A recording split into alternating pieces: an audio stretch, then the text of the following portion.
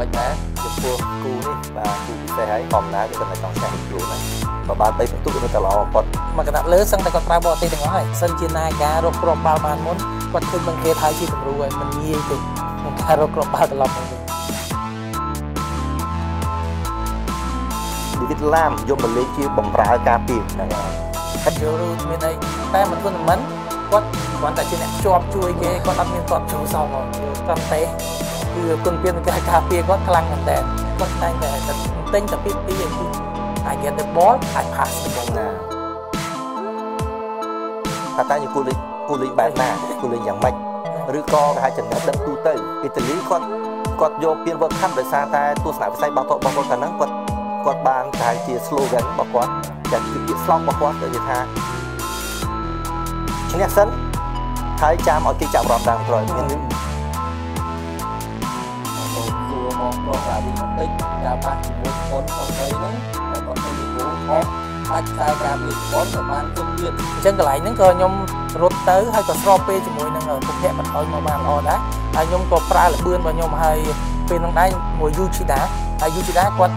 ធម្មតាគាត់មានធំយើងអត់អាចទៅកណ្ដាលចិត្តគាត់បានទេគាត់ដាក់តែដៃហ្នឹងគឺយើងទៅមកអត់រួចទេអញ្ចឹងខ្ញុំជាយើងផ្ទះបាល់ឲ្យឆ្ងាយពីជើងហើយយើងរត់តំណាំងគ្នាវិញ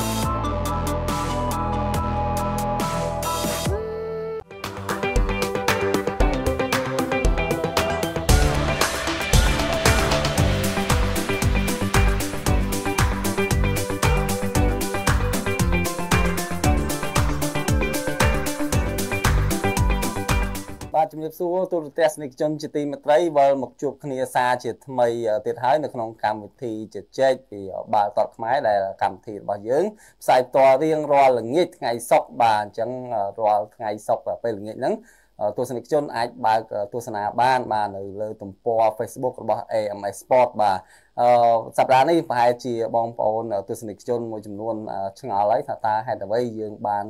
រុញកម្មវិធីផ្សាយផ្ទាល់របស់យើងមកមកអាត្មានេះវិញម្ដងបាទដោយសារតែយើងចង់ទុកពេលឲ្យវាគ្មិនរបស់យើងទាំងពីរដែលមានលោកគ្រូប្រាក់សវណ្ណរានិងលោកគ្រូខុនឡាបូរវីបាទមានពេលវេលាគ្រប់គ្រាន់ដើម្បីធ្វើដំណើរទៅផ្ទះវិញដែលយើងបានដឹងហើយបាទរាជរដ្ឋាភិបាលបានចេញនៅបំរាមកោចរដែលរដ្ឋបាលរាជធានីភ្នំពេញបានចាប់ដើមអនុវត្តមុនគេដោយបំរាមកោចរនេះអនុវត្តនៅវេលាម៉ោង8 យប់ដល់ម៉ោង5ភ្លឺបាទលោកគ្រូបាទអញ្ចឹងមួយសប្តាហ៍ហ្នឹងលោកគ្រូមានបានធ្វើដំណើរទៅណាទៀតអត់លោកគ្រូបាទដោយសារតែយើងដឹងថាឥឡូវនេះសម្រាប់ពួកខ្ញុំពីរនេះចាប់ទៅចាប់អាសាំងបាទបាទតែការថ្នមខ្លួនបាទថ្នមខ្លួនយកជាយើងគ្រប់ទៅតាមហៅបញ្បញ្ជាក់បញ្ជារបស់គ្រូពេទ្យបាទរយៈពេល3ថ្ងៃដែលយើងត្រូវតែធ្វើបំពងខ្លួនឯងឲ្យវាបានល្អបាទហើយ នៅក្នុងហ្នឹងក៏អាកន្លែងដែលយើងធ្វើការហ្នឹងក៏មានការរឹតបន្តឹងអូដោយអនុញ្ញាតឲ្យបុគ្គលិកទាំងអស់គឺធ្វើការតាមផ្ទះបាទហើយអ្វីដែលសំខាន់ហ្នឹងមានន័យថាយើងបើទោះបីជាมันមានបំរាមគោចរនឹងក៏ដោយក៏មិនដឹងជាមានហេតុផលអីដែលយើងត្រូវចេញទៅក្រៅចង់និយាយថាបើសិនជាយើងមានករណីពិសេសចាំបាច់បំផុតដែលជិះមិនរួចនោះឧទាហរណ៍ដូចជាមានការប្រជុំបន្ទាន់ដែលត្រូវការអឺ ទៅកន្លែងណាមួយដែលថាយើងអាចនឹងមានសេវាអ៊ីនធឺណិតល្អអីចឹងអានេះយើងតែទៅតែបើក្រៅពីហ្នឹងដូចជាមិនមានហេតុផលអីត្រូវចេញក្រៅបាទព្រោះយើងចូលរួមទប់ស្កាត់ទាំងអស់គ្នាបាទបាទអញ្ចឹងជាលើកទី2ហើយដែលក្រុមការងារខាងសហព័ន្ធបានទទួលចាក់វ៉ាក់សាំងនេះមានអារម្មណ៍ប្លែកពីមុនខ្លះទេលោកគ្រូបាទខុសពីការចាក់លើកទីចំពោះការចាក់វ៉ាក់សាំងលើកទី2នេះដែរគឺចំពោះខ្ញុំផ្ទាល់វាអត់សូវជាប្លែកប្រហែលទេប៉ុន្តែមានអារម្មណ៍ថា ប្រតិកម្មរបស់វ៉ាក់សាំងដូចជារៀងស្រាលជាងមុនដូចកាលមុនកាលមុនដូចលើកទី1វារៀងយើងងុយគេងច្រើនប៉ុន្តែលើកនេះខ្ញុំងុយគេងដែរតែតិចតិចហើយក្តៅខ្លួនតិចតិចដែរបាទអូដើម្បីឲ្យថាបានសម្រាកច្រើនមានលក្ខណៈថាងុយគេងហ្នឹងគ្រូណាបាទអញ្ចឹងសម្រាប់តកតងនឹងបំរាមកោចរនេះឃើញមានបែងចែកហើយថាបែងចែកទៅតាមការងារមួយចំនួនដែរខ្លះនៅ លក្ខណៈដឹកជញ្ជូនទៅគឺមិនស្ថិតនៅក្នុងបំរាមនេះទេបាទបើសិនបើថាការងារណាមួយដែលចាំបាច់តែត្រូវចេញម៉ោង8បានបានចេញឬ8ជាងបានចេញក៏តែមានការថាលិខិតបញ្ជាក់ពីស្ថាប័នការងាររបស់ខ្លួនទៅអាចទៅដំណើរបានបាទអញ្ចឹងនេះជាព័ត៌មានមួយប្រហែលជាបងប្អូនទស្សនិកជនជាច្រើនអាចបានដឹងហើយពីបំរាមនេះបាទអញ្ចឹងសូមថាទស្សនិកជនអស់ថាកុំភ្លេចខ្លួនណា បាទតិចដូរថាច្រឡំអីម៉ោង8ជាងអីចង់ទៅនេះទៅនោះអីជួបជុំដាក់បន្តិចដាក់អីអាចនឹងគ្រោះថ្នាក់អីបាទ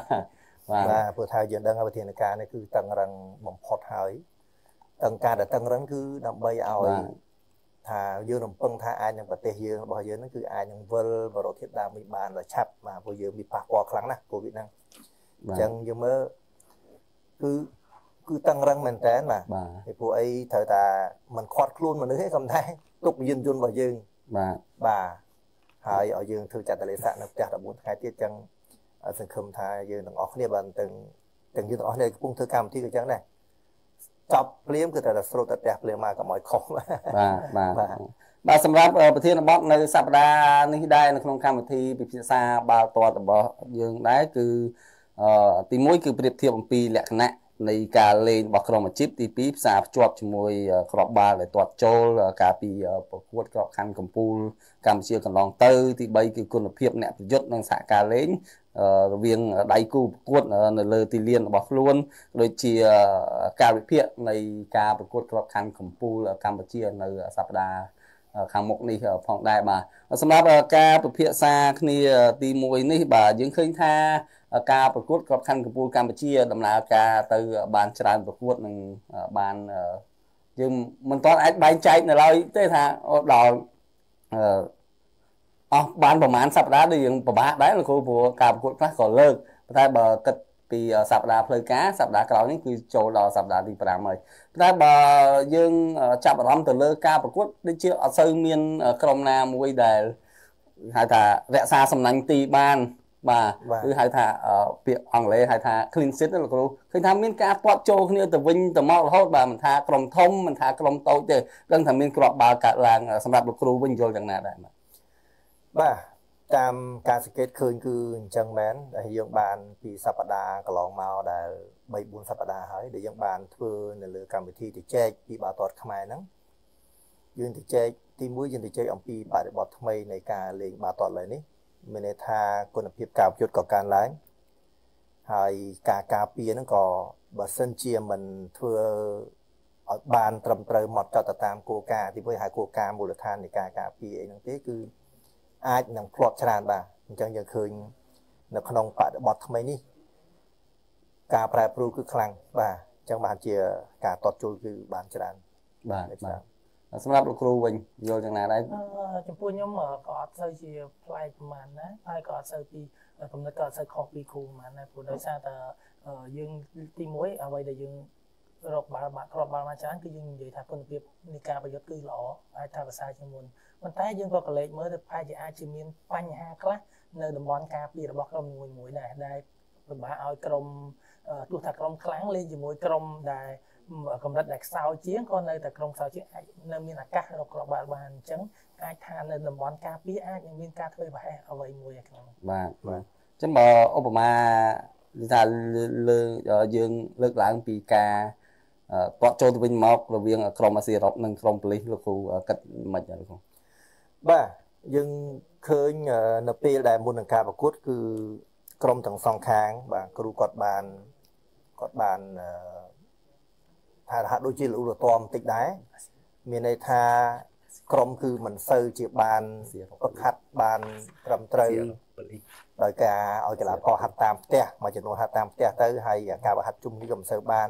អញ្ចឹងវាអាចថាពាក់ព័ន្ធទៅនឹងកម្លាំងមួយចំណែកអញ្ចឹងទៅឬក៏អឺថាវាមានកីឡាករចំនួនថ្មីដែលថាលេងមិនទាន់បានស៊ីគ្នា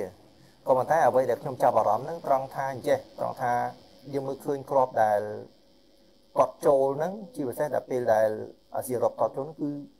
វាដូចទីទើបតែចាប់ផ្ដើមទេបាទតែនាទីទី5ទី5ទី6នឹងឯងទៅចាប់ផ្ដើមអញ្ចឹងអាច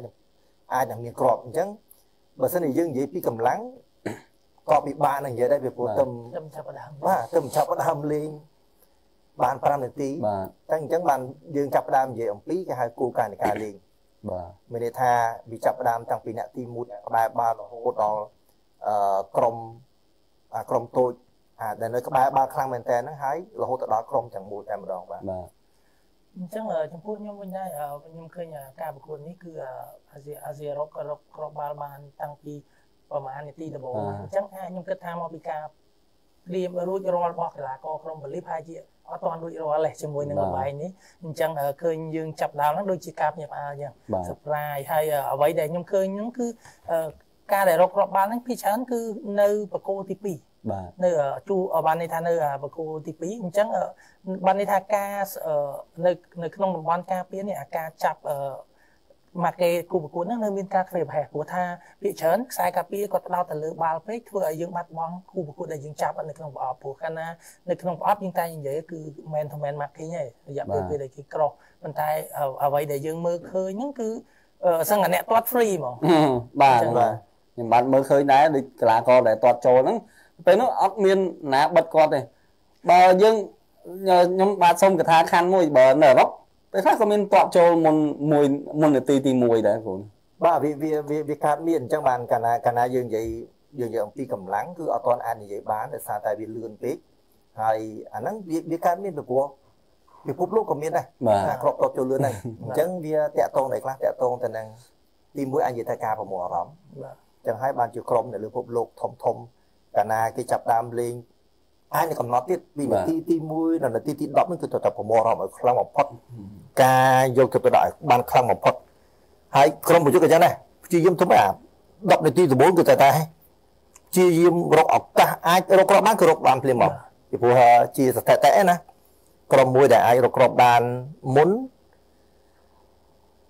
អាចនឹងមានព្រៀបឈ្នះច្រើនអានេះគ្រាន់ជាស្ថិតិតែមិនពិតប្រាកដទេអញ្ចឹង អាស៊ីអឺរ៉ុបវាចាស់ស្ដាយថាឃើញអញ្ចឹងមែនអាស៊ីអឺរ៉ុបតបចូលមុនអាស៊ីអឺរ៉ុបឈ្នះគាត់ថាបើយើងប្រៀបធៀបដោយរវីបានលើកឡើងមកអញ្ចឹងមានន័យថាយើងមើលតាក់ទងដល់បាល់ជ្រុងគេហៅបាល់ corner ហ្នឹងដូចគ្នាដូចជាការតបចូលរបស់ភ្នំពេញក្រោនបាទតបចូលនឹងការីវងគឺដូចគ្នាមានន័យថាឱកាសដែលគាត់ការរៀបចំក្រុមក៏មានហើយការលេងហ្នឹងក៏វាមានក៏មានខៅឆ្ងាយទៅទៀត យើងមើលយើងមើលបាល់ការីវងបាទគាត់ទៅពេលដែលបាល់ទាត់ corner ហើយហ្នឹងបាទបើបាល់ corner បាទម្ដងអញ្ចឹងមានន័យថាក្រុមទាំងអស់មានឱកាសចុះមករហូតចុះមកខាងក្រោមជុំនេះសឹងតែមកដណ្ដប់នេះទៅហើយហើយពេលដែលទាត់ corner មកហើយហ្នឹងអត់ទាន់មានបញ្ហាទៀតបាទមិនទាន់មានបញ្ហានៅឡើយទេអញ្ចឹងបាល់អាច clear ចេញទៅទៅអញ្ចឹងវាតកតងទៅនឹងបើនិយាយការលេងបាល់កាលណាចាប់ផ្ដើមពី3វិនាទីទៅ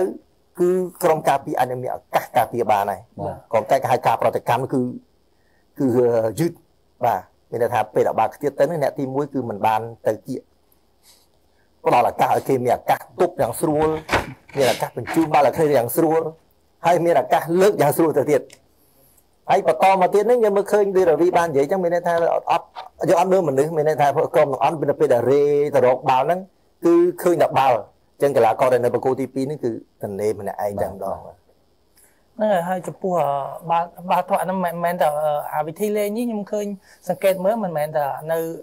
បាល់ទាត់សម័យទំនើបអាការលេងទៅប្រកួតទី2ហ្នឹងខ្ញុំឃើញសំបីខ្ញុំមើលបាល់ជំរុំ World Cup ថ្មីថ្មីនេះឃើញក្រុមនៅអឺរ៉ុបក៏គាត់ព្យាយាមលេងច្រើនដែរគឺគាត់លើកទៅទី2ទី2អ្នកតែតម្លាក់វិញបានអ្នកកដាលហ្នឹងគឺព្យាយាមរកឱកាសតបចូលទីអញ្ចឹងគ្រោះថ្នាក់ការកាលណាដែលយើងភ្លេចឆែកមើល គូប្រកួតយើងតែមកប្រហែលជាមួយ2វិនាទីយើងអាចនឹងរបូតគ្រាប់បាល់បានយ៉ាងនេះអាហ្នឹងជាថារបៀបលេងមួយដែលគេចូលចិត្តលេងឥឡូវប៉ុន្តែចំណងលោកគ្រូលេងក៏មានអញ្ចឹងដែរតែ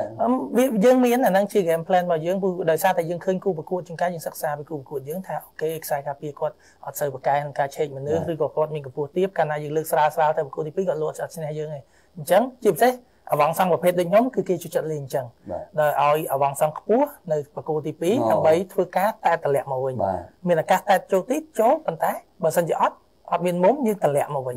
ព្រោះការតម្លាក់មកគ្រោះថ្នាក់ណាព្រោះថាពីច្រើនយើងខ្សែការពារបើសិនជាការប្រមូលអារម្មណ៍របស់គាត់បានល្អអូខេគាត់ការពារបានតែពេលខ្លះគាត់ចង់ឈ្នះពេកចង់បានបាល់ទី1ពីអវងសង្ឃនឹងពេកអាចនឹងបាត់បង់អាការមើលឃើញអាគូប្រកួតដែលគាត់កំពុងចាប់អញ្ចឹងពេលយើងតម្លាក់ទៅវិញគឺ គាត់តែតងាយងាយទាត់ងាយងាយចូលតែមកជួនកាលវាថាគេលើកមកគាត់ថាដូចបាល់ជ្រុងមកគេមិនស្មានថាលោកគ្រូឈរចាំតែតបញ្ជូនទេគេគាត់ថាលោកគ្រូអាចនឹងតែតចូលទីណាតែហ្នឹងណាហ្នឹងហើយអាចអាចអាចអញ្ចឹងបាទបាទអូនេះបើក្នុងបាល់ផ្ទះគេហៅបាល់ផ្ទះ ស៊ីលុយគេហៅដូរចង្កេះវាវាចង្កេះវាពិបាកដោយសារតែគាត់ត្រូវការមេពីដោយសារតែចំហរបស់គាត់រត់ក៏ពិបាកដែរព្រោះថាធម្មតាតែបាល់ទៅលើកមកទី2គាត់ធម្មតាភ្នែកគាត់ដំបងគាត់មើលបាល់គាត់ទៅដូរជំហានរត់ហើយតែពេលយើងតាប្រជ្រះទៅវិញក្នុងការបកទៅវិញវាមិនមែនជាការងាយទេអញ្ចឹងវាគ្រោះថ្នាក់បាទបាទយើងសូមសូមក្រុមការងារដាក់ម្ដងទៀតមើលបាល់ដែល ខាងភ្នំពេញក្រោនពីព្រោះហ្នឹងដូចថាភ្ជាប់ជាមួយរាវីនិយាយអញ្ចឹងយើងមើលឃើញចំហអ្នកការពារនៅពេលដែលនៅពេលដែលបាល់នៅពេលដែលបាល់បាទបាល់ចេញទៅមួយសាហើយអញ្ចឹងគឺតកតងចំហព្រោះគេនិយាយថាការពារជាគោលការណ៍នៃការការពារទី1ស្អីក៏ដោយគឺតកតងចំហទាំងអស់បាទមានន័យថាមើលឃើញបាល់មើលឃើញគូប្រកួតគ្រប់ពេលទាំងអស់ប៉ុន្តែយើងមើលចំហអ្នកការពាររបស់ខាងកីឡាករការីវងហ្នឹងគឺនៅមានការខ្វះខាតចំណែកហ្នឹងមា នថាបាល់ដែលលើកមកហ្នឹងគឺមើលបាល់ទាំងអស់ហើយដល់ពេលដែលបាល់ដែលខ្ទាតមកដល់អ្នកប្រយុទ្ធលេខ10មកគ្រាន់តែបែរមកគឺបាល់គេទៅវិញគឺ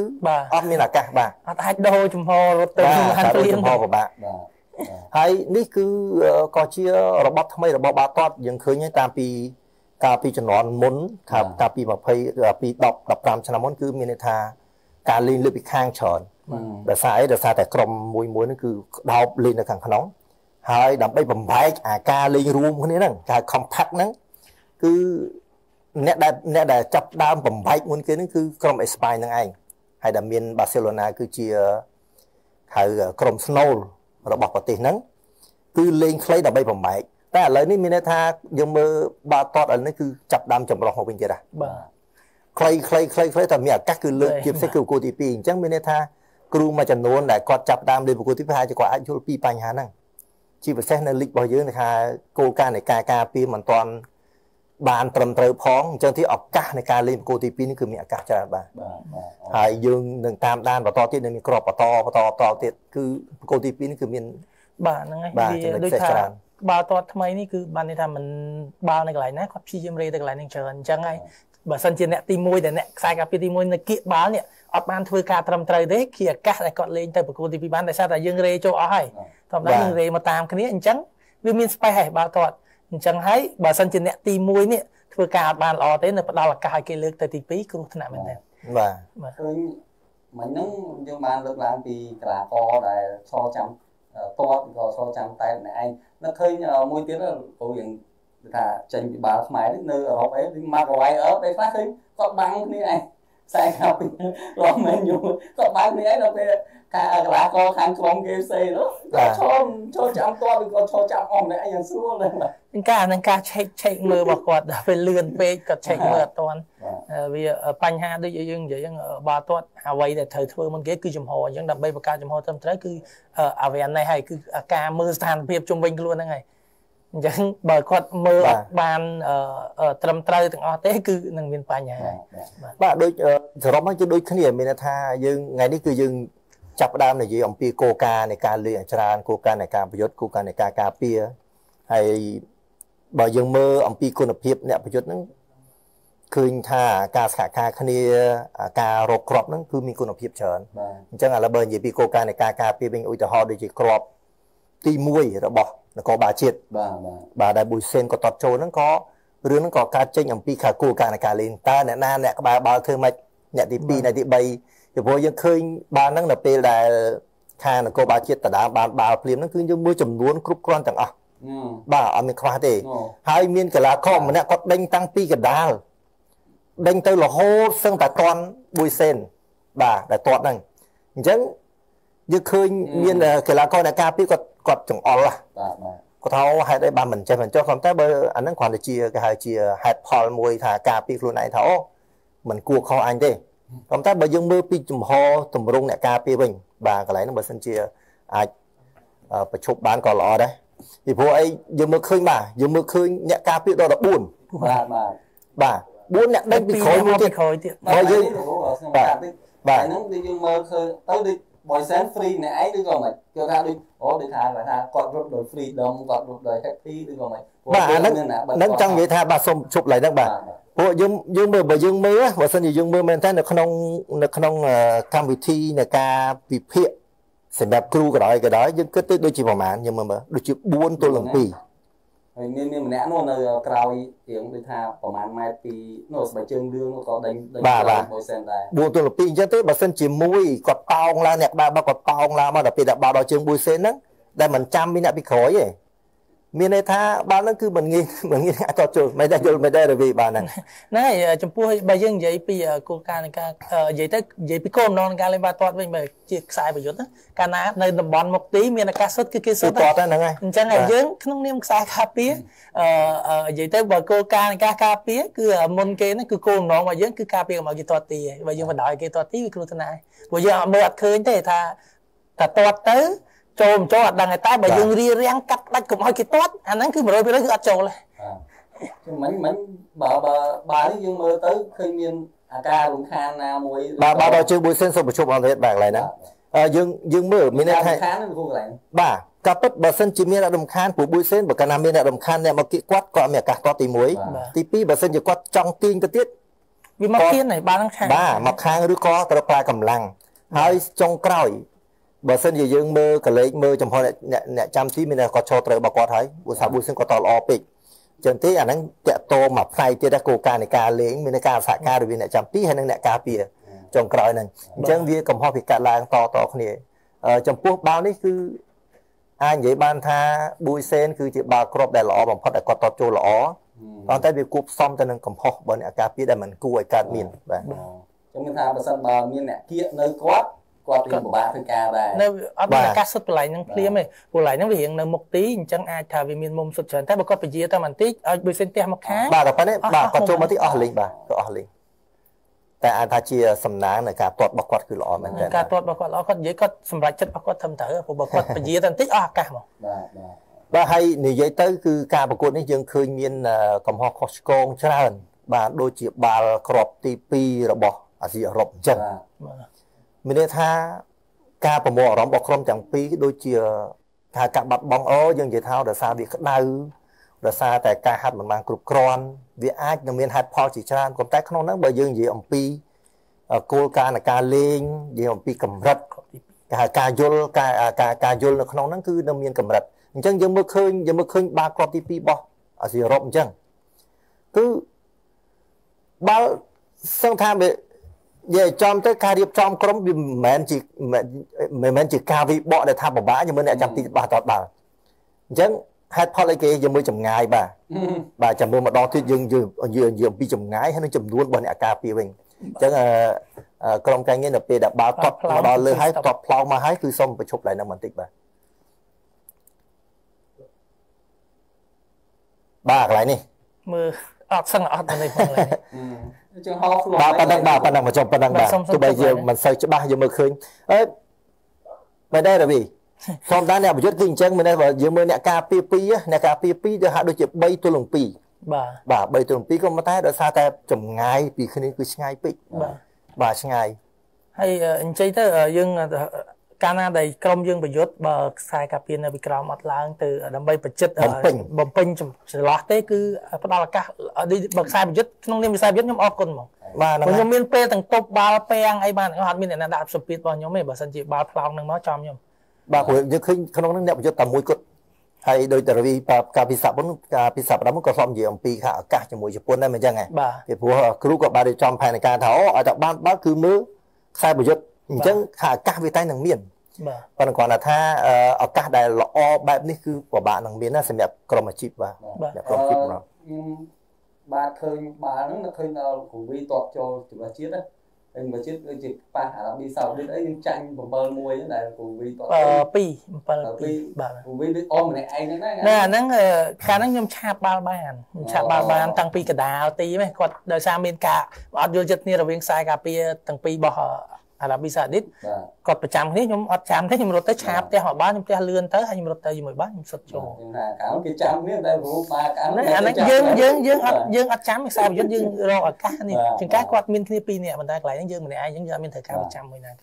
ពេលដល់អស់ដៃម្នាក់ឯងហ្នឹងគឺទំនុកចិត្តខ្ញុំខ្ញុំបើចំពោះខ្ញុំផ្ទាល់ខ្ញុំរឿងរត់រឿងអីមិនសូវនេះប៉ុន្តែធ្វើការខ្លះទៅតែបើថាអាកាសមានអាកាសទាត់ទីខ្ញុំអត់សូវធ្វើឲ្យផ្លាត់ទេ ហ្នឹងចំពោះខ្ញុំផ្ទាល់បាទយើងមើលគ្រាប់ដែលតចូលនឹងគឺមានកំហុសតតគ្នាបាទទី1គឺនិយាយអំពីកម្លៀតបាទទី2យើងមើលតែបាល់មក stop ឡើងនេះ stop ឡើងបាទ stop បាល់ឡើងហ្នឹងបាទនេះដូចជា3ទល់នឹង1បាទហើយអឺជាទូទៅបើខ្សែការពារកាលណាដែលមួយយើងមួយឡើងមកបាល់យើងត្រូវ2 cover គ្រូត្រូវហ៎បាទជួបាទខ្សែការពារមួយឡើងមួយ cover បាទអញ្ចឹងកន្លែងនេះពីរប៉ុន្តែកន្លែងនេះវាវាយឺតតែ cover ឃើញអឺចំហរបស់អឺខ្សែប្រយុទ្ធនោះគឺនៅពីមុខនៅពីមុខកសែនហើយបាទហើយ អញ្ចឹងបើបាល់ឡកកន្លែងណាក៏រត់អត់ឈ្នះក៏ដែរពុកទាំងមិត្តធំបាទអាហ្នឹងនិយាយរួមនៅក្នុងទ្រឹស្ដីណាបើនិយាយអំពីគេហៅគោលការណ៍ប្រយុទ្ធគឺសូមឲ្យការសូមឲ្យទុកចិត្តគ្នាបាទមានន័យថារវីក៏មានអាចមានលទ្ធភាពតបចូលបើរវីប៉ះមកខ្ញុំក៏ខ្ញុំអាចមានលទ្ធភាពតបចូលបាទផ្ទុយមកវិញការពារសូមកុំឲ្យទុកចិត្តគ្នាវិញគ្នាពេកត្រឡប់មានន័យថាបើអ្នកទី1ចាប់ដើមធ្វើការអ្នកទី2ត្រូវតែត្រៀមទោះបីជាបាល់ដឹងដល់រម100%គាត់អាចតែបានគាត់អាច clear បានគាត់អាចធ្វើបានក៏ដោយត្រូវតែ ត្រូវតែនេះអញ្ចឹងអានឹងជាគេហៅតាក់តងទៅនឹងការប្រមូលអារម្មណ៍ទី1ទី2តាក់តងទៅនឹងការយល់ដឹងអំពីគោលការណ៍នៃការលេង បាទ គោលការណ៍ការពារគោលការណ៍ប្រយុទ្ធដែលខ្ញុំគិតថាมันมันมันជាពាក់ព័ន្ធខ្លាំងទៅលើគេហៅទៅលើកម្លាំងណា បាទ ពីព្រោះអីបើនិយាយពីរឿងកម្លាំងបើសិនជាអត្ថានីតិ70បាទ70ឡើងទៅអូទៅវាពាន់កម្លាំងក៏តែបើសិនជាការគ្របដែលអាកាសឡើងដោយលឿនពេក ឬក៏ក្នុងនាទីមក30នាទីចុះបាទហ្នឹងតកតងទៅនឹងការយល់ដឹងហ្នឹងបាទនេះគ្រាន់តែយើងនិយាយពីរឿងគោលការណ៍នៃការលេងហ្នឹងបាទបាទបាទបាទអូខេអញ្ចឹងទស្សនិកជនអឺសម្រាប់វគ្គទី1នេះក៏យើងសូមពេលសម្រាប់បន្តិចសិនបាទដើម្បីឲ្យលោកគ្រូទាំងពីរបានហូបទឹកអីតិចសិនណាហើយក៏អញ្ចឹងទស្សនិកជនកំដរណាអញ្ចឹងទៅណាអីចាំទស្សនាវគ្គទី2ជាបន្តទៀតបាទអញ្ចឹងដល់ពេលនេះខ្ញុំបាទ8សូមពេលសម្រាប់បន្តិច បាទជួបគ្នាអាសាជាថ្មីទៀតហើយអញ្ចឹងយើងបន្តបន្តិចលោកគ្រូតាក់ទងទៅនឹងការតតចូលនេះដែរលោកគ្រូក៏បានមានប្រសាសន៍ដែរថាអឺការប្រហែលនាទីដំបូងក៏វាជារឿងសំខាន់ប្រហែលនាទីចុងក្រោយក៏វាជារឿងសំខាន់ដូចក្រុមខ្លះអីប្រហែលនាទីដំបូងនេះតតចូលនេះពុបពុបបាទហើយចុងស្រាប់តែមុននឹងចប់វគ្គទី1ក៏មានគ្រាប់បាល់បន្តបន្តទៀតហ្នឹងពាក់ព័ន្ធនឹងរឿងអីដែរលោកគ្រូ អឺចំពោះខ្ញុំអឺបើឆ្លងកាត់អឺបទពិសោធន៍ក្នុងការលេងអាហ្នឹងអឺគ្រូគ្រូក៏តែងរំលឹកឲ្យយើងយកចិត្តទុកដាក់បំផុតគឺនិយាយទៅត្រូវការប្រមូលអារម្មណ៍បំផុតគឺនៅ5 10នាទីដំបូងនៃការប្រកួតហើយបូកនឹង5 10នាទីដំចុងក្រោយនៃតង់នីមួយៗព្រោះថាបាល់ទាត់អាចឈ្នះចាញ់នៅអាការធ្វើផែនបន្តិចបន្តិចនេះអញ្ចឹងអឺយើងលើកឧទាហរណ៍ដូចជាប្រកួតម្សិលមិញអឺប្រកួតរវាងអឺ Tiger ជាមួយនឹងអឺអឺជាមួយនឹងតប អញ្ចឹងក្នុងតង់ជាមួយគាត់រកបាន5គ្រាប់អញ្ចឹង3 2ហើយហើយយើងមើលនៅអឺចុងតង់ទី2គឺអឺតបអឺចុងតង់ទី1តបតបចូល2គ្រាប់សឹងតែប្រហែលជាក្នុងចន្លោះពេលតែដូចជា2នាទីបាទបាទអញ្ចឹងអាហ្នឹងវាអាចពាក់ព័ន្ធនឹងអារម្មណ៍បាទបាទបាទចូលលោកគ្រូបាទនៅក្នុងអានេះអឺយើងនិយាយអំពីបាល់ទាត់ខ្មែរហើយក្នុងពិភពលោកក៏គេបាននិយាយពីរឿងហ្នឹងខ្លាំងមែនតើហេតុអីបានជា យើងបាននិយាយមួយខ្សែអញ្ចឹងហើយហេតុអីបានជាតំបន់អឺរ៉ុបប្រទេសនៅតំបន់អឺរ៉ុបហ្នឹងគឺមានឱកាសទៅដើមពាន World Cup បានច្រើនជាងច្រើនជាងគេគឺដែលគេលើកនិយាយអំពីការប្រមូលអារម្មណ៍ការយកចិត្តទុកដាក់នៃការលេងមានន័យថានៅពេលដែលលេងពីដើមបើនិយាយពីកម្រិតទៅគឺប្រហាក់ប្រហែលគ្នាចុងក្រោយឈ្នះចាញ់នៅហ្នឹងហើយជាក់ស្ដែងយើងឃើញហើយកាលពីឆ្នាំ2014ដែលអាឡម៉ង់យកពាន World Cup ហ្នឹងគឺ សឹងតែអស់នាទីទៅហើយបាទនាទីចុងក្រោយនៅពេលដែលអាឡម៉ង់តតចូលគឺចប់តែម្ដងអញ្ចឹងការប្រមូលអារម្មណ៍នេះសំខាន់ណាស់ដែលប្រទេសមួយមួយគឺគេចាប់ផ្ដើមអឺលើកយកមកនិយាយអំពីរឿងហ្នឹងកាន់តែច្រើនបាទបាទអឺកាលពីសប្តាហ៍មុន គឺមានការប្រកួតហៅថា Super Sunday បាទបាទការប្រកួតរវាងប្រខានរាជស្វាយរៀងនិង Nagavel បាទ ព្រោះនេះក៏មានការតបបញ្ចូលទីគ្នាទៅវិញទៅមកដោយយើងចាំបានថា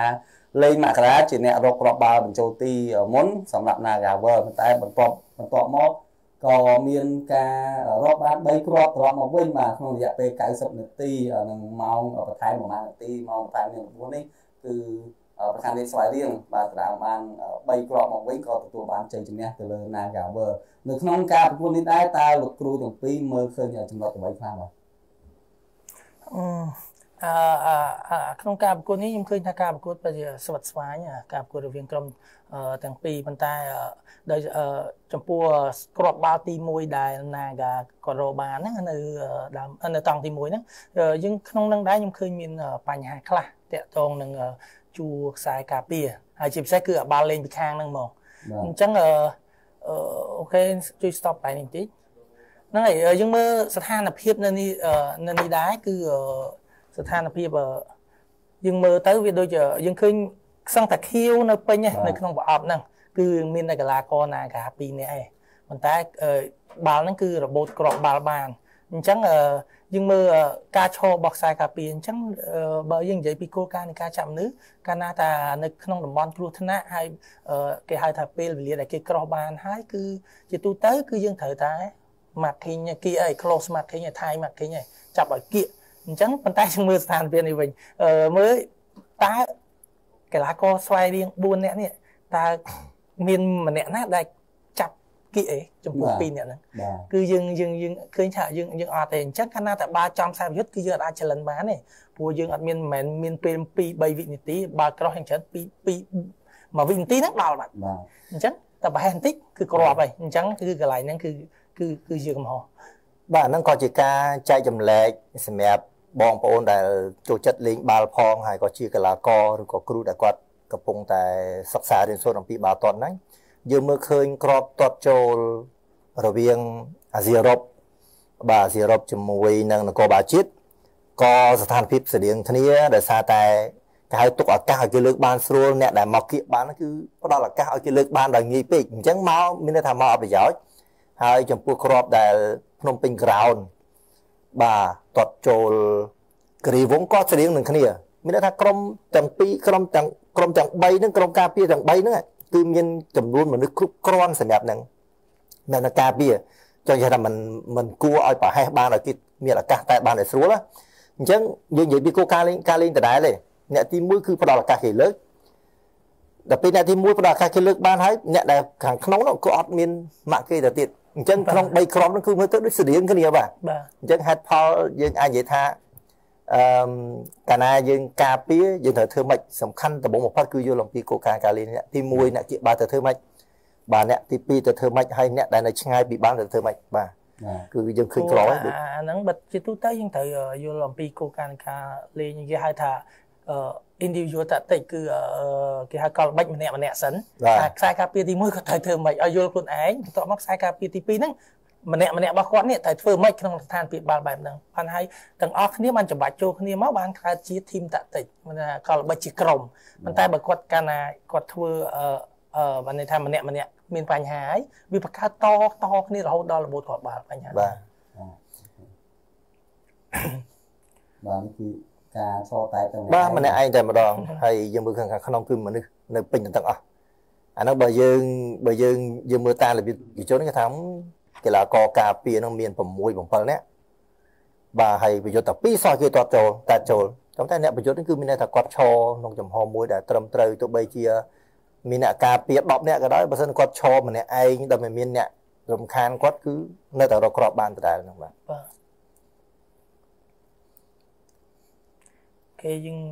ចូលដល់គ្រាប់បាល់បន្ទាប់ទៀតយើងចង់ចង់មើលគ្រាប់បាល់បន្ទាប់ទៀត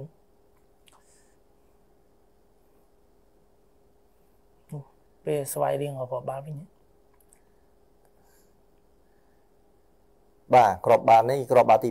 2ដែលរកក្របតាមស្មើរបស់ស្វ័យរៀងហ្នឹងក៏ស្តៀងគ្នានឹងយើងចាំបានដែរនៅពេលដែលស៊ីរ៉ុបបាទយើង stop បាទនៅពេលដែលស៊ីរ៉ុបអាស៊ីរ៉ុបជាមួយនឹង ប៉ូលីសហ្នឹងបាទដូចគ្នាលេស្ថានភាពដូចគ្នានេះមើលស្ថានភាពស្រៀងគ្នាគ្រប់គ្នានិយាយទៅយើងអាចថាគាត់បារម្ភពេកឬក៏មិនប៉ុន្តែរាល់ដែលបាល់នៅខាង មានម្នាក់នៅគៀកហើយហើយដូចថាមានកីឡាករបរទេសរបស់ Naga ហ្នឹងគឺ super គាត់នៅបាន cover នៅពីមុខហើយចាំកាត់ lại ប៉ុន្តែ យើងបារម្ភពីគុណភាពរបស់ private ពេកភ្លេចមើលកីឡាករនៅក្រោយអញ្ចឹងមករាគឺគាត់ ថតមកទៅខាងកន្លែងមានបាល់ហើយអញ្ចឹងយើងអាចថាដោយសារគាត់អត់ទុកចិត្តខ្លាចថា private អាចឆ្លងកាត់ពីអ្នកនឹងបានឬមិនអាហ្នឹងយើងជាការសម្រេចចិត្តរបស់គាត់ភ្លាមភ្លាមក្នុងទីលានប៉ុន្តែគ្រាន់តែបើសិនជាជាទូទៅគោលការណ៍ការការលេងគឺយើងពេលណាអ្នកណាដែលយើងចាក់យើងត្រូវ check មើលអ្នកហ្នឹងមកព្រោះថាបាល់ដល់គៀនហ្នឹងគឺវាអត់សូវគ្រោះថ្នាក់ទេបើសិនជា private សម្រាប់ចិត្តថាសុទ្ធឬក៏បណ្ដាខ្លួនឯងគឺវាអត់សូវគ្រោះថ្នាក់តែបើ private បោះចូលឲ្យគឺត្រូវមានអ្នកណាត្រូវសុទ្ធហើយអញ្ចឹងតើយើងត្រូវគិតមើលថាតើអ្នកណាដែលគ្រោះថ្នាក់ជាងគេនៅក្នុងនៅក្នុងប្រអប់ហ្នឹងអញ្ចឹងបើសិនជាយើងផ្លិចគឺហើយបូកជាមួយនឹងការវៃឆ្លាតរបស់ម៉ៃកាហ្នឹងទៀតម៉ៃកាគាត់បកកែទៅតាមទីតាំងមែនតើអញ្ចឹងគ្រប់ពេលដូចខ្ញុំធ្លាប់បាននិយាយម្ដងហើយគឺពេលដែលខ្ញុំរកអាកាសតែតគឺខ្ញុំតែងតែធ្វើឲ្យខ្សែការពារពិបាកបើសិនជាគាត់មើលខ្ញុំឃើញគាត់អត់មើលបាល់ឃើញទេអញ្ចឹងអានេះស្ថានភាពដូចគ្នា ជាមួយនឹងគាត់ឆ្លាតអញ្ចឹងធ្វើឲ្យពិបាកបើមេការ៉ាសម្រាប់ចិត្តថាមើលមើលធ្វើម៉ៃកាហ្នឹងក៏គាត់មើលអត់ឃើញបាល់ដែរអញ្ចឹងវាវាអាចថាស្ថានហ្នឹងវាពិបាកដែរអញ្ចឹងចំពោះខ្សែយុទ្ធដែលគេឆ្លាតដែរហើយបើយើងយើងមើលពីពីដើមទីមកវិញបាទពីដើមទីចាប់ចាប់ដើមចេញពីដំបូងមកហ្នឹងគឺយើងឃើញថាមិនមែនមិនមែនមិនមែនយើងនិយាយថាមិនមែនជាបាល់ថាថាពីបកនៅចំចំតួទេពីព្រោះយើងឃើញអ្នកអ្នកការពារម្នាក់បាទ ដែលគាត់នៅក្រោយគេនោះគាត់ដូចជាឲ្យសញ្ញាថាបាល់ offside អញ្ចឹងអាហ្នឹងក៏ជាក៏ជារឿងមួយដែរមានថាកីឡាករបើនិយាយពីគោលការណ៍នៃការលេងគឺយើងអត់ចាប់អារម្មណ៍ទៅលើអាញាកណ្ដាលថាយ៉ាងម៉េចយ៉ាងម៉េចហ្នឹងមានតែយើងដឹងតែពីលេងបាល់ទេហើយដែលជាកំហុសមួយបាទកំហុសចាប់ពីហ្នឹងទៅអឺចំពោះបញ្បញ្ហាហ្នឹងដែរខ្ញុំចង់និយាយពេលដែលយើងប្រយុទ្ធជាទូទៅពេលដែលយើងប្រយុទ្ធយើងតែងតែរៀបចំ គេហៅ risk control ការពារពេលដែលបាល់គេកង់មកវិញប៉ុន្តែយើងមើលស្ថានភាពនេះខ្ញុំឃើញដូចជាទុកឱកាសឲ្យ private នៅឆ្ងាយតែឯងដល់តែខ្សែការពារមានដល់3នាក់ទៅគាត់គិតថា offside បាទការពារ3គាត់គិតថា offside ដល់ពេលអញ្ចឹងទៅវាទៅជារឿងមួយទៅវាវាភ្ញាក់ផ្អើលបាទដល់ពេលអត់ offside ទេ private គាត់មានឱកាសបាទបាទហើយសូមបន្តទៅមុខទៀតបាទហើយយើងឈប់នៅពេលដែលគាត់ដែលមានឱកាសបាទលើក បាទព្រោះកន្លែងហ្នឹងក៏ជាក៏ជារឿងមួយដែលយើងត្រូវពិភាក្សាគ្នាបន្តិចដែរបាទកន្លែងនេះបាទពីព្រោះយើងឃើញបានហ្នឹងបើនិយាយអំពីពិភពលោកឡើយនេះអាបាល់ដែលដែលពេលដែលទៅគៀកគៀនមែនតែនអញ្ចឹងទេឱកាសដែលថាលើកកាត់ទៅហ្នឹងគឺកម្រនឹងឃើញមានណាបាទកម្រមានមានថាបាល់កំពុងតែលឿនពីព្រោះឥឡូវហ្នឹងគឺអាបាល់តទៅតឹងគឺកាត់ផ្ដាច់អស់ហើយអញ្ចឹងហើយបានជាបាល់ដែលប៉ះមកក្រោយគឺតែងតែមានឱកាសច្រើនជាង ចឹងដល់បាល់តតតឹងគឺអត់មានទេអញ្ចឹងមានន័យថាការតាក់តងដដែលតាក់តងនឹងគោលការណ៍នៃការការពារចំហរបស់អ្នកការពារចំហរបស់អ្នកចាំទីដែលឈរมันអាចมันបិទអឺมันឲ្យគេលើកបានហ្នឹងហើយវាក៏ជាថាគោលការណ៍ប្រយុទ្ធដែរតាក់ទងគោលការណ៍ប្រយុទ្ធគឺអឺមីកាហ្នឹងគាត់បាទគាត់បកកែរោគដែលរវីបានលើកឡើងគាត់បកកែរោគកន្លែងមានន័យថាឃើញអ្នកការពារបែរមើលមីការហូត តែមានការហ្នឹងគាត់គាត់ធ្វើចលនាធ្វើយ៉ាងណាគឺថាគាត់គិតអំពីកុំឲ្យអ្នកការពារហ្នឹងអាចមើលឃើញបាល់ផងមើលឃើញគាត់ផងអញ្ចឹងអាហ្នឹងដែលជាដែលជាអឺការគុណភាពប្រយុទ្ធរបស់គាត់យើងចាំបាននៅពេលដែលលេខជាមួយនឹង EDC ក៏ខានភាពទីរឿងគ្នានឹងឯងបាទមានថាគាត់ដល់ពេលដែល private លើកទៅហ្នឹងគឺគាត់អាចមានឱកាសតទៅដូចនេះគឺដោយសារគាត់គិតចេញអំពីការមើលឃើញថាការមើលរបស់អ្នកចាក់អ្នកការពារហ្នឹងបាទចាំបានថាការជាមួយ ពិសេសក៏គ្រាប់បាល់ស្តៀងគ្នានឹងកើតឡើងដែរហើយដល់ពេលប៉ះមួយនឹង Naga ពីរគ្រាប់ចិត្តគ្នាគឺរបៀបដដែលជាមួយហ្នឹងប៉ុន្តែមួយយើងខ្សែការពារនៅចិត្តនីកាបន្តិចហើយមួយទៀតខ្សែការពារយើងឃ្លាតឆ្ងាយពីខ្សែវិយុទ្ធអេស្ប៉ាញនេះបន្តិចបាទហ្នឹងហើយអាហ្នឹងជាភាពវៃឆ្លាតរបស់គាត់យើងយើងអាចនេះបានដោយសារតែកីឡាករវាមានប្រភេទជាកីឡាករខ្លះគាត់ល្អជាមួយនឹងបាល់ពេលគាត់មានបាល់ប៉ុន្តែកីឡាករខ្លះ គឺគេហៅ off the ball គេថាពេលដែលគាត់អត់បាល់ហ្នឹងគាត់ឆ្លាតវៃមែនទែនក្នុងការពេលដែលគាត់បានបាល់គឺភាគច្រើនមានឱកាសតបចូលទីមកយើងលើកឧទាហរណ៍ដូចជាកីឡាករម៉ៃកាបើសិនជាយើងមើលហ្គេមពេញគាត់អត់សូវចូលរួមជាមួយនឹងការលេងច្រើនទេបាទតែឱកាសដែលគាត់ប៉ះបាល់ម្ដងម្ដងគឺជាឱកាសតបចូលទីភាគច្រើនមួយដឹងមួយបងណាបាទគាត់និយាយទៅគាត់ឆ្លាតរពេលខ្លះយើងមិនមែនពួកយើងត្រូវយល់ថាបាល់ទាត់គោលម្ដងនៃការលេងបាល់ទាត់គឺតបចូលទី ឈ្នះព្រោះយើងអត់អាចច្រឡំពីមេតូទេរបៀបរសាបាល់អីផ្សេងផ្សេងទទួលបាល់បណ្ដាបាល់ហ្នឹងជារបៀបក្នុងការរកគ្រាប់បាល់ទេប៉ុន្តែជ័យជំនះគឺការទាត់ដដែលឯងអញ្ចឹងគាត់ព្យាយាមអាការតបចូលទីគាត់នឹងច្បាស់អញ្ចឹង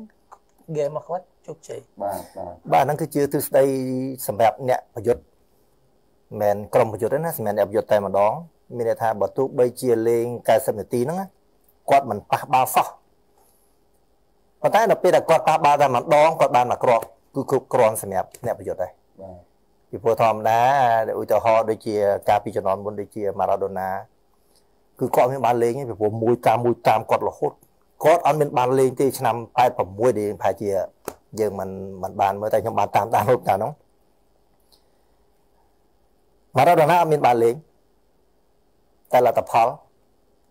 បាទសងទានយកពាន World Cup បាត់បាទ នេះជាហេតុផលមួយមានន័យថាគាត់ជាអ្នកបង្កឱកាសអញ្ចឹងអ្នកប្រយុទ្ធគឺដូចគ្នាដូចម៉ៃកាណាគាត់ដូចគ្នាឬមើលការប្រកួតនីមួយនីមួយគាត់មិនសូវជាទទួលបានបានលេងប្រមាណព្រោះដោយសារអាចដោយសារតែក្រុមដែលគូប្រកួតគឺគាត់ចាប់អារម្មណ៍ទៅលើគាត់ច្រើនអញ្ចឹងហើយបានយើងមានមតិទូតិជនគាត់លើកឡើងថាឬក៏ការព័ត៌មានជនគាត់បានលើកឡើងដែរគាត់ថាការសហការគ្នារវាង privat ជាមួយនឹងម៉ៃកានឹងគឺល្អណាស់ ប៉ុន្តែបើចំពោះខ្ញុំជាអ្នកអឺដែលយើងជាអ្នកបច្ចេកទេសយើងគិតទៅលើអំពីថាការយល់ដឹងរបស់កីឡាករ private private private គាត់មានន័យថាគាត់ប្រកែនឹងមើលគោលដៅគាត់ប្រកែនឹងឲ្យបាទអាចនិយាយបានថាអញ្ចឹងម៉ៃកាក៏គាត់ប្រកែរកចំហប្រកែរកកន្លែងដែររករកអញ្ចឹងដល់ពេលយើងមកថាអូជាកីឡាករដែលវាអាចស៊ីគ្នាបានល្អតែអាហ្នឹងក៏ ក៏តេតូននឹងការហាត់ជុំគ្នាដែរអញ្ចឹងមិនកាត់ឡើងដោយចៃដន្យទេអាហ្នឹងយើងឧទាហរណ៍ប្រហែលឆ្នាំមុនគ្រូក៏ចាំដែរព្រោះយើងដឹងហើយបង្កេតប្រហែលឆ្នាំមុនយើងរកគ្រាប់បាល់បានច្រើនណាក្រុមការដឹកនាំរបស់គ្រូរវាង Binga មួយវឌ្ឍនាការ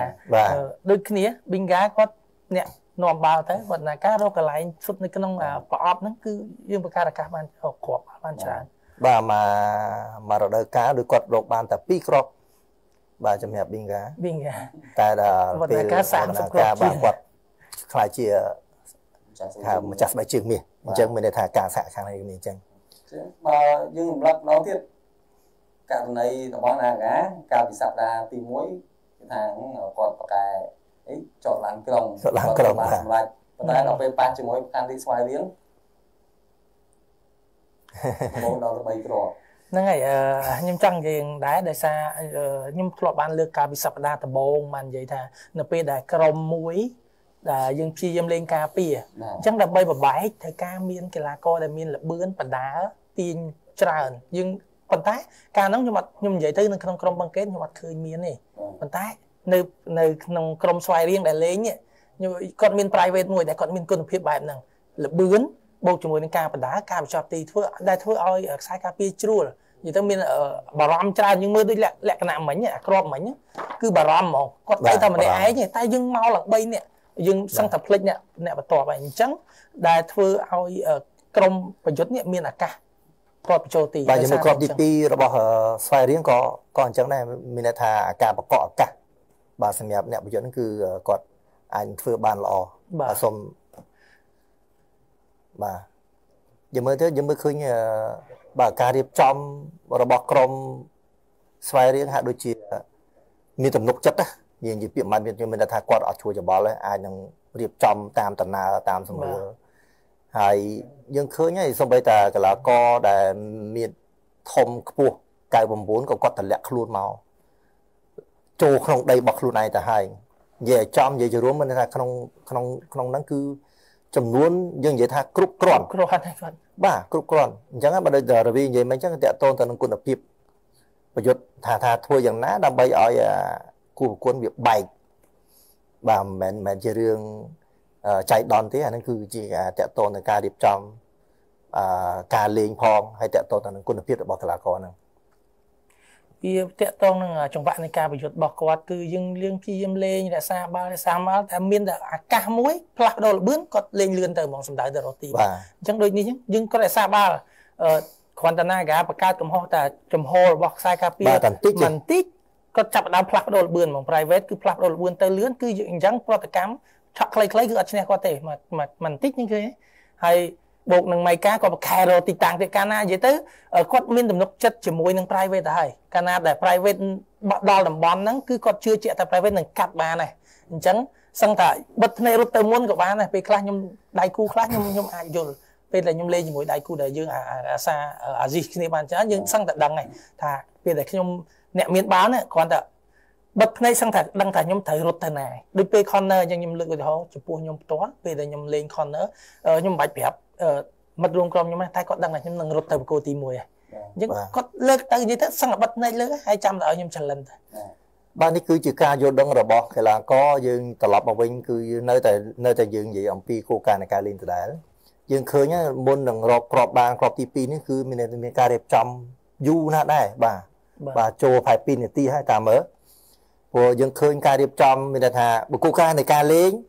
ក្នុងតំបន់ការពីគឺលេងឲ្យលឿនដើម្បីចេញឲ្យផុតពីតំបន់គ្រោះថ្នាក់ដល់ពេលដល់តំបន់បំរើគឺរៀបចំគេថាធ្វើយ៉ាងណារកឱកាសដើម្បីទៅមុខប៉ុន្តែដល់ពេលដែលឱកាសទៅមុខហើយគឺលឿនយើងឃើញ private ដល់ពេលដែលបាល់ដល់ជើងគាត់ភ្លាមគាត់តប់គាត់មើលហើយគាត់លើកតែម្ដងមិនថាគាត់បញ្ជូនតែម្ដងហើយនឹងរឿងមួយដែលរឿងមួយសំខាន់ដែលយើងមើលចាប់ផ្ដើមបាទគឺមានឱកាសគ្រប់គ្រាន់នៃការគ្រប់គ្រងបាល់ឱកាសមើលការរៀបចំ វាអាចនឹងពាក់ព័ន្ធទៅនឹងក្រុម Naga ហ្នឹងគឺមិនសូវជាខែគៀបស្កត់ខ្លាំងផងយល់ថាខ្លួនឯងធ្លាប់លេងអញ្ចឹងបានជោគជ័យហើយបាទអញ្ចឹងនៅបន្តហ្នឹងអញ្ចឹងចុងក្រោយបាទចុងក្រោយនៅពេលដែលបាល់តបចូលហ្នឹងគឺវាតកតងចំណុចមួយទៀតតកតងនឹងគោលការណ៍នៃការលេងដដែលមានតែការយល់គឺយើងភាសាអង់គ្លេសគេប្រភេទ timing timing បើយើងបើយើងបើយើងបកភាសាយើងឲ្យត្រឹមទៅមានថា ធ្វើត្រូវពេលត្រូវពេលវេលាមានន័យថានៅពេលដែលបញ្ជូនបាល់ទៅដល់បាទបញ្ជូនបាល់ទៅដល់ private បាទបញ្ជូនរក private private ងើបមើលភ្លាមមិនការធ្វើចលនាភ្លាមឥឡូវយើងចាំមើលទាំងអស់គ្នាគឺពេលហ្នឹងមានតែថាស្របពេលគាត់ចលនារបស់គាត់ទៅនៃការរបស់គាត់ទៅ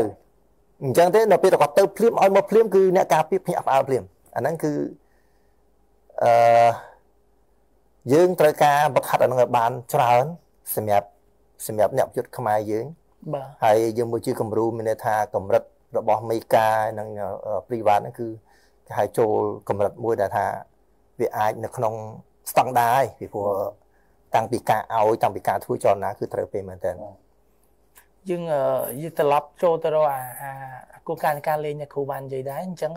យើងជាទូទៅកាលណាដែលក្រុមដូចសវណ្ណបានលើកឡើងក្រុមមួយដែលរួម រួមលេងនៅការពារនៅខាងក្រោមរួមជាក្រុមអញ្ចឹងអឺក្នុងការបំបែកបានគឺមានតែចលនាទេការបង្កើតចលនាគឺកន្លែងនេះឃើញអដាមគាត់ព្យាយាមបង្កើតចលនាទៅដើម្បីបង្កើតឱកាសឲ្យទៅលេងនៅតំបន់កដាលយើងមើលគាត់ទាញមនុស្សទៅបានមួយអញ្ចឹងអាការចលនាមួយរបស់អាដាមហ្នឹងក៏ជាផលប្រយោជន៍ដើម្បីឲ្យ private នេះបង្កើតឱកាសឲ្យគាត់រត់បានដែរហ្នឹងហើយអញ្ចឹងក្នុងការលេងជាមួយក្រុមដែលយើងនិយាយមិញថារួមក្រុមដែលនៅចតនៅខាងក្រោមគឺសំខាន់បំផុតគឺចលនាគេថាចលនាក្នុងការបំបែកហ្នឹងបើសិនជាយើងរក្សាតែបាល់ហើយនៅទីតាំងដដែលហ្នឹងគឺយើងពិបាកនឹងរកឱកាសចឹងប្រហែលប្រកួតកន្លងមកយើងមើលទៅឃើញយុទ្ធសាស្ត្រនេះល្អចឹងគិតថាអាចស្វ័យរឿងអាចជាក្រុមដ៏ល្អល្អមួយ បានហើយបន្ទាប់ពីបញ្ចប់ការប្រកួតប្រហែលសប្តាហ៍បាទរឿងនឹងអាការជាគំរូពីព្រោះយើងបានទៅចែកទៅតាមយើងមើលទៅតាមសារព័ត៌មានក៏បានទៅចែកថាការសហការគ្នាប្រយុទ្ធរវាង private ជាមួយនឹង Maika ហ្នឹងគឺបានល្អគឺយើងអាចត្រឡប់ទៅក្រោយវិញបន្តិចបាទនៅពេលដែលគាត់លេងជាមួយនឹង Erise បាទគិសនីបាទក៏ឃើញគាត់ពីរនាក់នេះមានន័យថាអឺ មិនចាំថាក្របទីប្រមាណទេបើតែដូចពីគាត់ដូចជាពីរក្របដែលគាត់សហការគ្នាបានល្អមែនតើអញ្ចឹងនិយាយទៅសរុបទៅដល់ឥឡូវនេះគឺ5គ្រាប់ហើយដែលគាត់សហការគ្នាគឺ private Aziz ឲ្យ Maika 4ហើយ Maika Aziz 1ចំពោះ Bal Free Kick ដែលលេងលឿនហ្នឹងអញ្ចឹងបានន័យថាគាត់ដូចជារយៈពេលខ្លីដែរគាត់ទៅមកតែយល់ចិត្តគ្នាជាមួយ private បានច្រើនបាទអូខេអញ្ចឹងតាមការលើកឡើងនេះប្រហែលជា ក្រុមផ្សេងផ្សេងដែលត្រៀមនឹងជួបប្រខ័ណ្ឌរាជស្វ័យរៀងប្រកាសជាអាចនឹងរកយុទ្ធសាស្ត្រវិធីសាស្ត្រណាដើម្បីទប់ស្កាត់ដៅញីឈ្មោះទាំងពីរហ្នឹងបាទយើងយើងយើងនិយាយទៅវាវាវាជាការពិតមួយមានន័យថា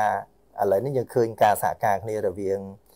private ជាមួយនឹង Maika ហ្នឹងក៏ធ្វើបានល្អព្រោះយើងឃើញយើងនិយាយទៅ5គ្រាប់ហើយមិនតិចទេបាទតែពីប្រកួតឲ្យ5គ្រាប់មានន័យថាជាចំនួនមួយដែលច្រើនលើសលប់ណាស់សម្រាប់សម្រាប់ក្រុម ហើយប្រើតែកីឡាករពីរអង្គទៀតអញ្ចឹងខ្ញុំគិតថាក្រុមផ្សេងផ្សេងនៅពេលដែលប៉ះជាមួយនឹងស្វ័យរៀងអាចនឹងរកវិធីធ្វើយ៉ាងណាដើម្បីកាត់ទប់ស្កាត់អានឹងជារឿងក្រុមគេវិធីបែបណាយើងអត់ដឹងទេព្រោះថ្ងៃនេះយើងទៅចែកតែពីរឿងគោលការណ៍នៃនៃការប្រយុទ្ធដោយឡែកបើយើងទៅចែកពីរឿងគោលការណ៍នៃការប្រយុទ្ធនៅការប្រយុទ្ធនៅការការលេងការទាំងការពារទាំងប្រយុទ្ធគឺត្រូវតែមានគេហៅក្រឹកក្រម បើមានគោលការណ៍ច្បាស់លាស់ថាថាការពារធ្វើយ៉ាងណាយុទ្ធធ្វើយ៉ាងណាហើយពីរនាក់ហ្នឹងគឺជាឧទាហរណ៍មួយសម្រាប់អ្នកប្រយុទ្ធរបស់យើងពីព្រោះស្ថានភាពខ្ញុំគិតថាឥឡូវនេះស្ថានភាពឃើញបានលើកពីខាងទៅច្រើនបាទបាទអញ្ចឹងហ៎ក្នុង5ក្រោយលើកពីខាងឬក៏បានលឿនលឿនលឿនហ្នឹងទៅបាទឬក៏ cut back អញ្ចឹងទៅឬថាបាល់ប៉ះមកក្រោយ ក៏ប៉ុន្តែយើងអត់ដឹងថាតើនៅពេលខែក្រោយទៅគាត់នឹងបង្កើតស្អីមួយផ្សេងទៀតដល់ពេលដែលគូប្រកួតគាត់បាត់អានឹងអស់ហើយគាត់នឹងអាចបង្កើតស្អីមួយទៀតដើម្បីការលេងបាទនេះគឺជាការច្នៃប្រឌិតរបស់ពួកគាត់ហើយពួកប្រយុទ្ធចុងក្រោយធ្វើអីអត់ចេញគេបាត់អស់ច្នៃប្រឌិតហ្នឹងឯងគឺសំខាន់បាទអញ្ចឹងបើតាមមើលឃើញទៅបើសិនបើ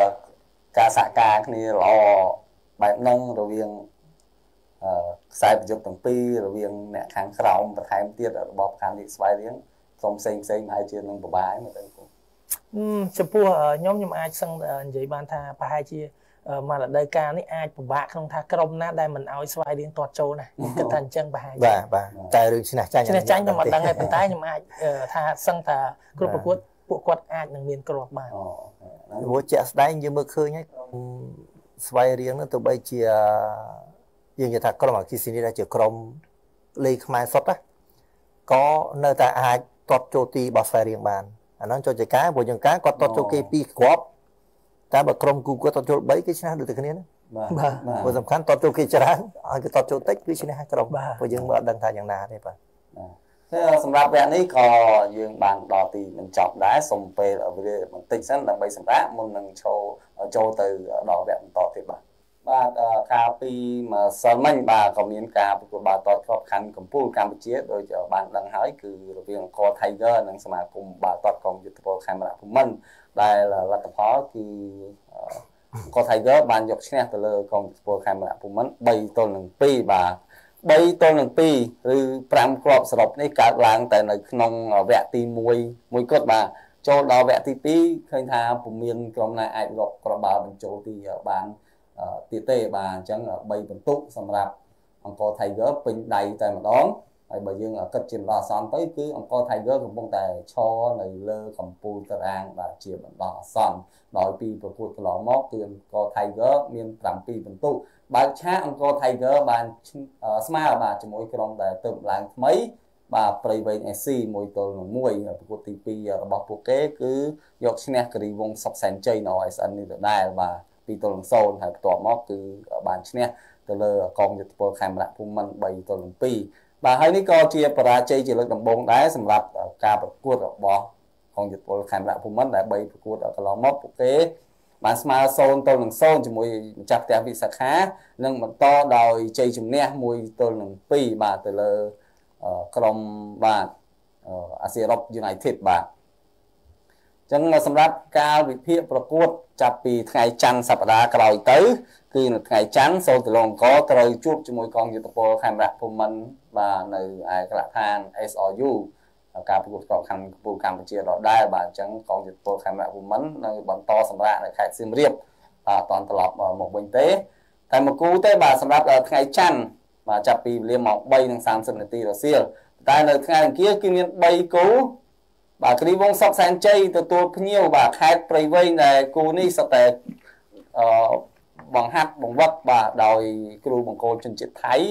ដូចគ្នាបាទគឺគ្រីវងដឹកនាំដោយលោកឯកភពពុទ្ធិស័យចំណែកឯលោកចំណែកឯព្រៃវែង FC គឺដឹកនាំដោយលោកថងឆៃរុងរឿងលីបបាទនៅឯភ្នំពេញកលដ្ឋាន Cambodia Airway គឺបង្កេតបាទប្រកួតជាមួយភ្នំពេញ Crown ហើយអគិសនីកម្ពុជាត្រូវប៉ះគ្នាជាមួយ Nagavel បាទនៅថ្ងៃពុធបាទគឺអាស៊ីអឺរ៉ុប United ត្រូវជួបជាមួយនឹងព្រះខ័នរាជស្វាយរៀងនគរបាលជាតិត្រូវប៉ះជាមួយនឹងអង្គរ Tiger បាទនេះគឺជាការប្រកួតក្របខ័ណ្ឌកម្ពុជាកម្ពុជានៅសប្តាហ៍ក្រោយបាទអញ្ចឹងតើបើយើងគិតពីការប្រកួតនៅថ្ងៃច័ន្ទសូត្រឡងកបាទជាមួយនឹងកងយុទ្ធពលខេមរៈភូមិន្ទគឺ បាទលទ្ធផលល្អច្រើនសម្រាប់ការប្រកួតចុងក្រោយ បាទ5លើកចុងក្រោយរបស់កងយុទ្ធពលខេមរៈភូមិន្ទដែលយើងបានឃើញនៅលើអក្រង់នេះអញ្ចឹងអត់ដែលចាញ់សូត្រឡងកទេដោយឈ្នះ3លើកនិងស្មើ2ដងបាទមាន3ទល់នឹង1មាន2ទល់នឹង2មាន1ស្មើជើងទី1ឆ្នាំ2019ហើយក៏ខាងកងយុទ្ធពលខេមរៈភូមិន្ទបាទឈ្នះ2ទល់នឹង0ហើយឆ្នាំមុនតតែមួយជើងទេដោយមានការបែងចែក top 6និង last 7បាទក្រុមកម្ពុជាទាំង6និងក្រុមខាងក្រោម7អញ្ចឹងសូត្រឡងក៏ស្ថិតនៅក្រុមខាងក្រោម7ហ្នឹងអត់ប៉ះគ្នាជាថ្មីទេនៅជើងទី2ជាមួយនឹងកងយុទ្ធពលខេមរៈភូមិន្ទដែលកាលពីជើងទី1ហ្នឹងគឺខាងតបនេះក៏កងយុទ្ធពលខេមរៈភូមិន្ទឈ្នះ3ទល់នឹង0បាទអញ្ចឹងបើគិតទៅបើតាមខ្ញុំបានមើលឃើញនៅឆ្នាំហ្នឹងខាងសូត្រឡងកប្រើកីឡាករក្មេងៗកាន់តែច្រើនជាងឆ្នាំមុនទៀតបាទតែជា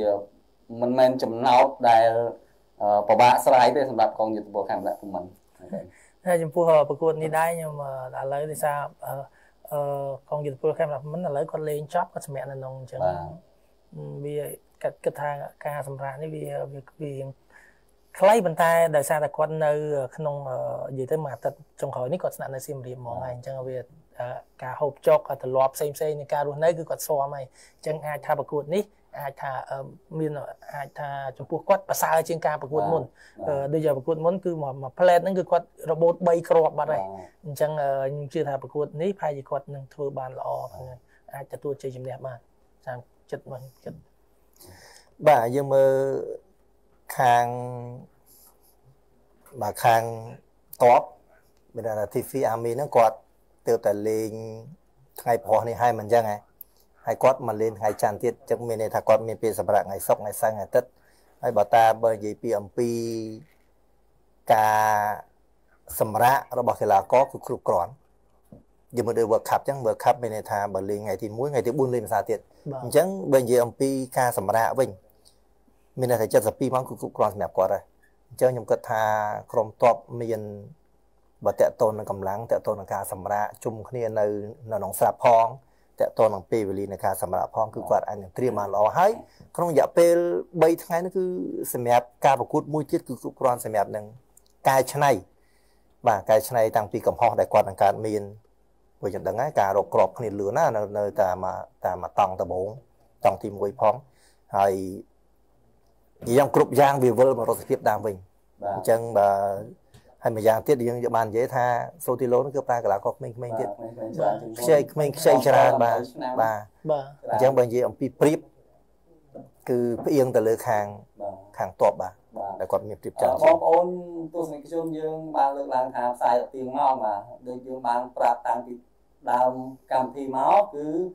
ថ្ងៃនេះផ្លាស់ប្ដូរម៉ោងដើម្បី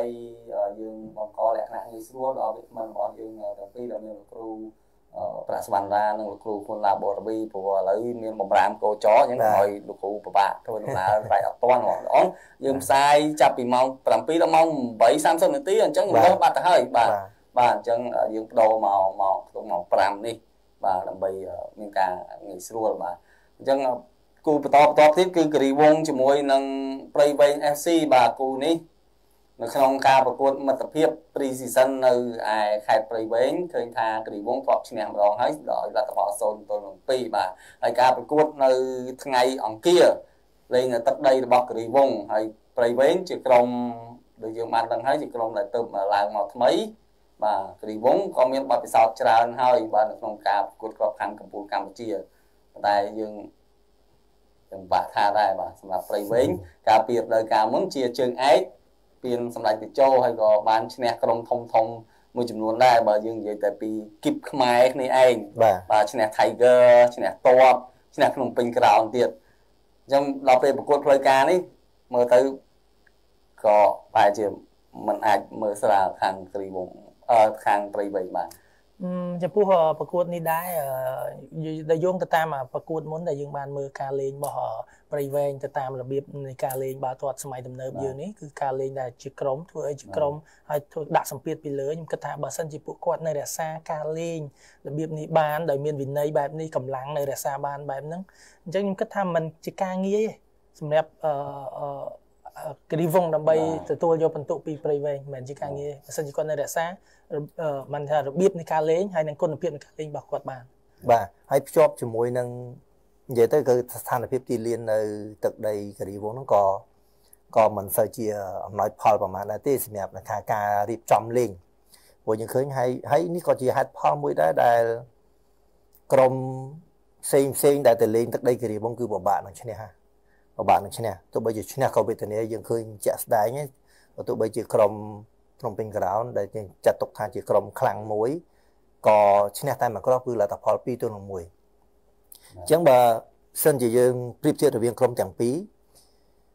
បើនិយាយពីកម្លាំងខ្ញុំគិតថាក្រុមទាំងពីរគឺមានសារភាពស្តៀងគ្នាព្រោះគ្រីវងនោះក៏ជាក្រុមមួយដែលធ្វើការគេសង្កត់ខ្លាំងដែរអញ្ចឹងចុងក្រោយខ្ញុំគិតថាការប្រកួតនេះតកតងទៅនឹង ថាគុណភាពនៃការបញ្ចប់ទី ដែលជារឿងសំខាន់បាទសំខាន់មែនតើអាហ្នឹងហើយអឺចំណុចទី2នេះវាអាចតកតងថាតើណាណាដែលមានសំណាងជាងពីព្រោះបើសិនជាការមើលរបស់ខ្ញុំផ្ទាល់គឺសមត្ថភាពគឺមិនលើគ្នាទេពីក្រុមនោះគោលបន្តមកទៀតគឺបឹងកេតនឹងទទួលភៀវក្នុងពេញក្រោមដែលលទ្ធផលបន្តបន្ទាប់កាលពីមុនបាទយើងឃើញនៅលើកញ្ចក់ហើយបាទមានឈ្នះទៅវិញទៅមកហើយមានស្មើហើយរដូវកាលមុនគឺការជើងទី1បង្កេតឈ្នះ3ទល់នឹង1នៅ Cambodia Airway បាទជើងទី2ស្មើគ្នា1ទល់នឹង1ដល់ពេលនោះគឺសាមាបាតាតាមស្មើឲ្យបង្កេតហើយលទ្ធផលស្មើនេះគឺប្រកលតម្លៃជើងឯកទៅឲ្យបង្កេតតែម្ដងបាទទោះបីជាប្រខានទៀតស្វ័យរៀងនៅថ្ងៃនោះឈ្នះ Nagawer ច្រើនគ្រាប់ប៉ុន្តែច្រើនគ្រាប់ហ្នឹងគឺគេគិតទៅលើ head to head បាទដោយប្រខានទីស្វ័យរៀងបាទបានចាញ់កាលពីជើងទី1ចាញ់បាទបង្កេតបាទអញ្ចឹងចប់ការប្រកួតការពីរដូវកាលមុននៅវគ្គវិលជុំសំទុកនោះស្មើគ្នាបង្កេតមួយប្រខានទីស្វ័យរៀងស្មើបន្ទុកគ្នាប៉ុន្តែតម្លៃជើងឯកតាមរយៈការមានប្រៀបលើ head to head ប្រគល់តម្លៃជើងឯកទៅលើបង្កេតបាទហើយបង្កេតសម្រាប់រដូវកាលនេះទៅតែប្រកួតបានមួយលើកទេដោយចាញ់ Nagawer នៅថ្ងៃបើកឆាកសម្រាប់ភ្នំពេញក្រោនប្រកួតពីរលើក កំណត់ត្រា100%មានន័យថា6បន្ទុកពេញក្នុងដៃប៉ុន្តែឈ្នះសូទីឡូអង្គរដែលមានក្មេងៗច្រើនបាទហើយឈ្នះគិរីវងសុកសែនជ័យ2ទល់នឹង1អាចថាផុតផោយដែរពេលខ្លះក៏គិរីវងមានឱកាសអាក្របបាល់នោះប៊ីសនឹងចូលទៅទៀតបាទបាទថាឈ្នះដោយចង់និយាយពិបាកដែរបាទអញ្ចឹងប៉ះជាមួយនឹងបឹងកេតដែលជាក្រុមការពារតម្លៃជើងឯកនេះយល់យ៉ាងណាសម្រាប់លោកគ្រូប្រាក់សវណ្ណបាទបាទយើងឃើញហើយថា រាល់ការប្រកួត បាទរាល់ការប្រកួតដែលធ្វើនៅលើទឹកដីទាំងពីរហ្នឹងចូលទៅបីបឹងកេតក៏ដោយទឹកដីរបស់ភ្នំពេញកណ្ដាលក៏ដោយបើនិយាយពីស្ថានភាពទីលានគឺស្តៀងគ្នា មានន័យថាអាចនឹងគ្រប់គ្រងបាល់បានល្អអាចនឹងរៀបចំលេងអញ្ចឹងបើយើងក៏លេខពីពុកបឹងគេទៅលេខតែបានមកប្រកួតទេហើយដែលយើងចាំបានថាកាលពីរដូវកាលចាស់ គឺគាត់ជាក្រុមមួយដែលមិនដែលស្គាល់ពាក្យថាចាញ់បាទបាទអញ្ចឹងមានតែស្មើហើយនឹងឈ្នះអញ្ចឹងយើងអាចនិយាយបានថាគុណភាពនៃការការពាររបស់បង្គិតអាចនឹងរក្សានៅបានដដែលពីព្រោះយើងឃើញយើងឃើញហើយថាកីឡាករក៏មិនមានការផ្លាស់ប្ដូរបាទអញ្ចឹងអាការយល់ចិត្តគ្នាការស៊ីសង្វាក់សពបែបយ៉ាងហ្នឹងគឺគាត់នៅអាចរក្សាបានដដែលគាត់ថាយើងឃើញហើយការបើកឆាកទៅគាត់ផ្្លាត់ឲ្យ ណាការនាំមុខលឿនពេកបាទមិនថាមិនលឿនពេកគាត់ថានាំមុខដល់ទៅដល់ពេលអញ្ចឹងឱកាសដែលរកគ្រាប់មកវិញគឺអត់មានក៏តែក៏មិនរបួសគាត់បន្តទៀតដែរអញ្ចឹងយើងអាចសន្មតិថាក្រុមបឹងកេតគឺជាក្រុមមួយដែលមានការការពារខ្លាំងមិនមែនមានន័យថាការពារ4ខាងក្រុមខ្លាំងទេមានន័យថាក្រុមទាំងមូលក៏គាត់ខ្លាំងដោយឡែកយើងមើលត្រឡប់ទៅមើលខាងភ្នំពេញក្រោននៅក្នុង យើងក៏គាត់លេងបានពីប្រកួតហើយហើយទាំងពីប្រកួតរបស់គាត់ហ្នឹងយើងឃើញមានការច្រឡំប្រហោងច្រើនមានន័យថាក្រុមហ្នឹងគឺប្រោតអារម្មណ៍ទៅលើការប្រយុទ្ធខ្លាំងបាទអាចថាអគ្រូគាត់ចូលចិត្តអញ្ចឹងក៏ថាបានបាទចឹងហើយបានជាអាចនឹងមានឱកាសឲ្យគូប្រកួតនឹងរកគ្រាប់មកវិញបានអញ្ចឹងទេបើយើងប្រៀបធៀបក្រុមពីរហ្នឹងអឺខ្ញុំគិតថាបើសិនជាភ្នំពេញក្រោនគាត់នៅរសាលេងបែបហ្នឹងហើយបូកផ្សំទៅនឹងគុណភាពរបស់ប្រយុទ្ធរបស់បង្គិត បង្គិតអាចនឹងមានព្រៀបច្រើនជាងហើយម្យ៉ាងកំពុងតែពុះកញ្ជ្រោលរសាខ្លួនឯងនឹងទើបតែចាញ់ការបើកឆាកផងអញ្ចឹងទេការប្រកួតហ្នឹងគឺត្រូវតែមានការតាំងចិត្តត្រូវតែខ្លាំងដើម្បីទទួលបាន3បន្ទុកពុះគូវីចំពោះខ្ញុំវិញចំពោះបើនិយាយពីខាងបឹងកេតខ្ញុំជឿថារយៈពេលដែលគាត់សម្រាប់ប្រហែលសប្តាហ៍នេះជាពេលល្អបំផុតសម្រាប់គ្រូ ដែលគាត់មានពេលតកែខៃក្រុមរបស់គាត់នៅចំណុចខ្វះខាតដែលការពីប្រកួតជាមួយ Naga ហើយក៏ជាពេលសមស្របសម្រាប់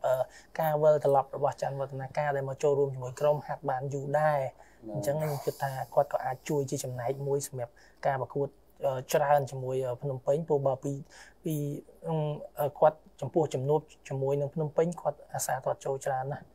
កាលពីមុនមកអញ្ចឹងខ្ញុំគិតថារយៈពេលកន្លងប្រមាណនេះអាចថាគាត់អាចចូលរួមជាមួយក្រុមបានច្រើនអាចនឹងការយល់ចិត្តក៏បានការប្រយុទ្ធរបស់គាត់ក៏អាចនឹងប្រសើរជាងការប្រកួតជាមួយនឹង Naga ហើយបូកជាមួយបើនិយាយពីភ្នំពេញខ្ញុំសង្កេតមើលការប្រកួតពីប្រកួតនេះទោះបីថាគាត់ឈ្នះ100%គាត់ឈ្នះទាំងអស់ប៉ុន្តែអឺ ទោះយ៉ាងណាក៏ក្រុមខាងគូប្រកួតតែងតែរកគ្រាប់បាល់បានរហូតបាទរបបគ្រាប់យើងយើងសល់ឲ្យឃើញការការពៀននៅមានបញ្ហាដូចជាប្រកួតជាមួយនឹងសូទីឡូយើងឃើញសូទីឡូគាត់នៅសល់គ្នាតែ10នាក់តាំងពីនាទីទី1ប៉ុន្តែចុងក្រោយគាត់អាចរកបានដល់12គ្រាប់អញ្ចឹងខ្ញុំជឿថាប្រហែលជានៅមានបញ្ហាចំពោះសុំបាទសុំស្លេះពីបងកេតក្នុងភ្នំពេញក្រោមទេមាន breaking news មួយដែរបាទបើមិនទាន់ហេតុការណ៍មួយដែរគឺ ក្លឹបបាល់ទាត់ Nagavel បាទបង្ហាញព័ត៌មាន7នាទីមុនគឺកីឡាករវ៉ាសថនឬក៏វ៉ាវិនទីនបាទបាន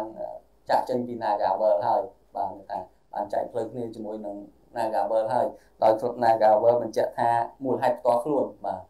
ដែលតម្រូវឲ្យគាត់វិលទៅទៅតារាងវិញបាទអូបាទចាំមើលព័ត៌មានតែវិញការបច្ចុប្បន្នភាពអីជាបន្តទៀតបាទបាទនិយាយរឿងភ្ញាក់ផ្អើលមួយដែរពីព្រោះ ភ្លាមភ្លាមស្រាប់តែមានការចាក់ចេញអញ្ចឹងទៅតែឃើញគាត់បង្ហាញខ្លួនលោចូលបាទក្នុងទី2ប្រហែលថ្ងៃមុននេះបាទគូមានអីបន្តទៀតតតជាមួយនឹងបាទសូមភ្ជាប់រឿងនឹងបន្តិចទៀតបាទមានរឿងទៀតបាទបាទអត់អីគូបាទគេប្រាប់តែប៉ុណ្្នឹងសិនបាទភ្ជាប់ពីរឿងបឹងកេតជាមួយនឹងភូមិក្រមបន្តិចទៀតបាទ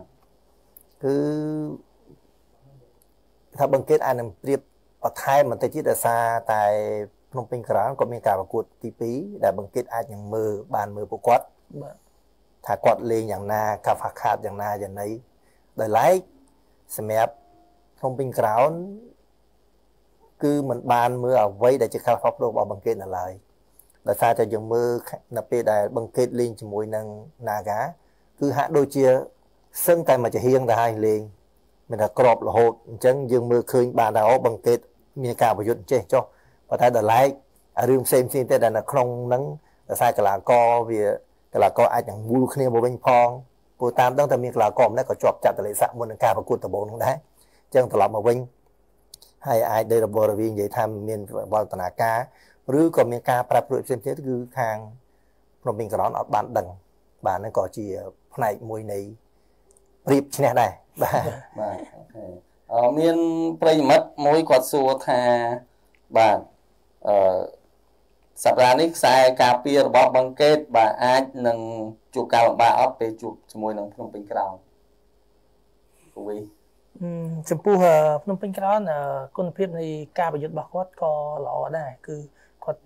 តែងតែរកគ្រាប់បាល់បានសឹងគ្រប់ការប្រកួតទោះថាគេទាត់ចូលគាត់ប៉ុន្តែការទាត់ចូលគាត់តែងតែទាត់ចូលច្រើនជាងគូប្រកួតរហូតអញ្ចឹងខ្ញុំជឿថាការប្រយុទ្ធគាត់ដោយផាយជាអូលិចគាត់ ផ្ដោតទៅលើការប្រយុទ្ធច្រើនដោយគ្រូបានលើកឡើងពីមុនមកអញ្ចឹងក្រុមនឹងអាចផ្ដោតទៅលើការប្រយុទ្ធច្រើនអញ្ចឹងមិនមែនជាការងារទេសម្រាប់ខ្សែការពាររបស់របស់បឹងកេតប៉ុន្តែដោយសារថាបង្កេតគុណភាពការពាររបស់គាត់មានសម្បត្តិជាមួយនឹង Anderson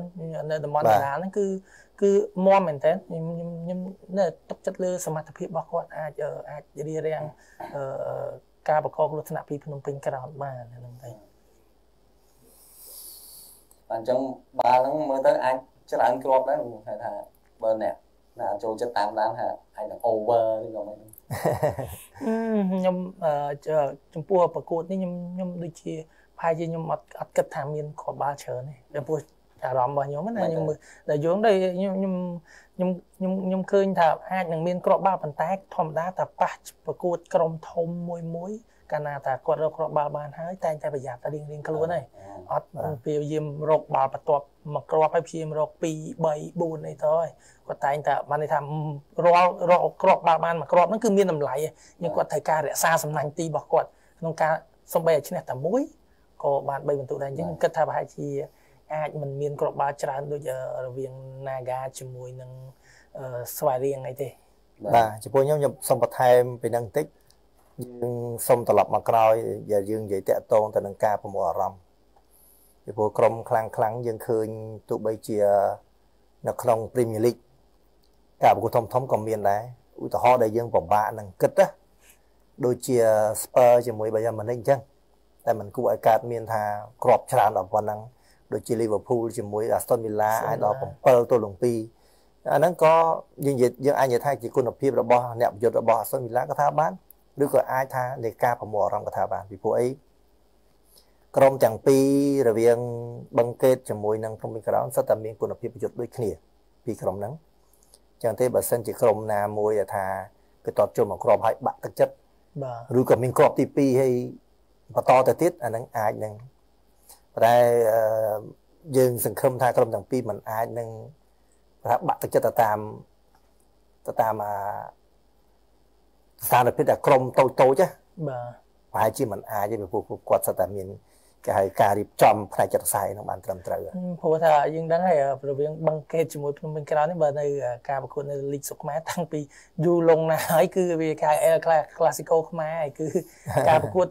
ដែលធំប្រចាំប្រចាំរដូវកាល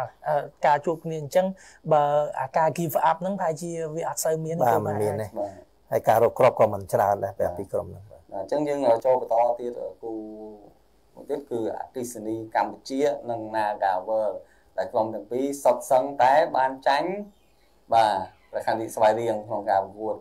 ផ្លូវការនេះកន្លងទៅដូចគ្នាបាទដោយយើងឃើញហើយលទ្ធផលមានជាហោហែមកសិតតែលទ្ធផលល្អបានទៅលើ Nagavel ទាំងអស់បាទដូចយើងបានដឹងហើយថាតែអគិសនីកម្ពុជា ជាក្រុមមួយដែលប្រើតែកីឡាករក្នុងស្រុកហើយ Nagavel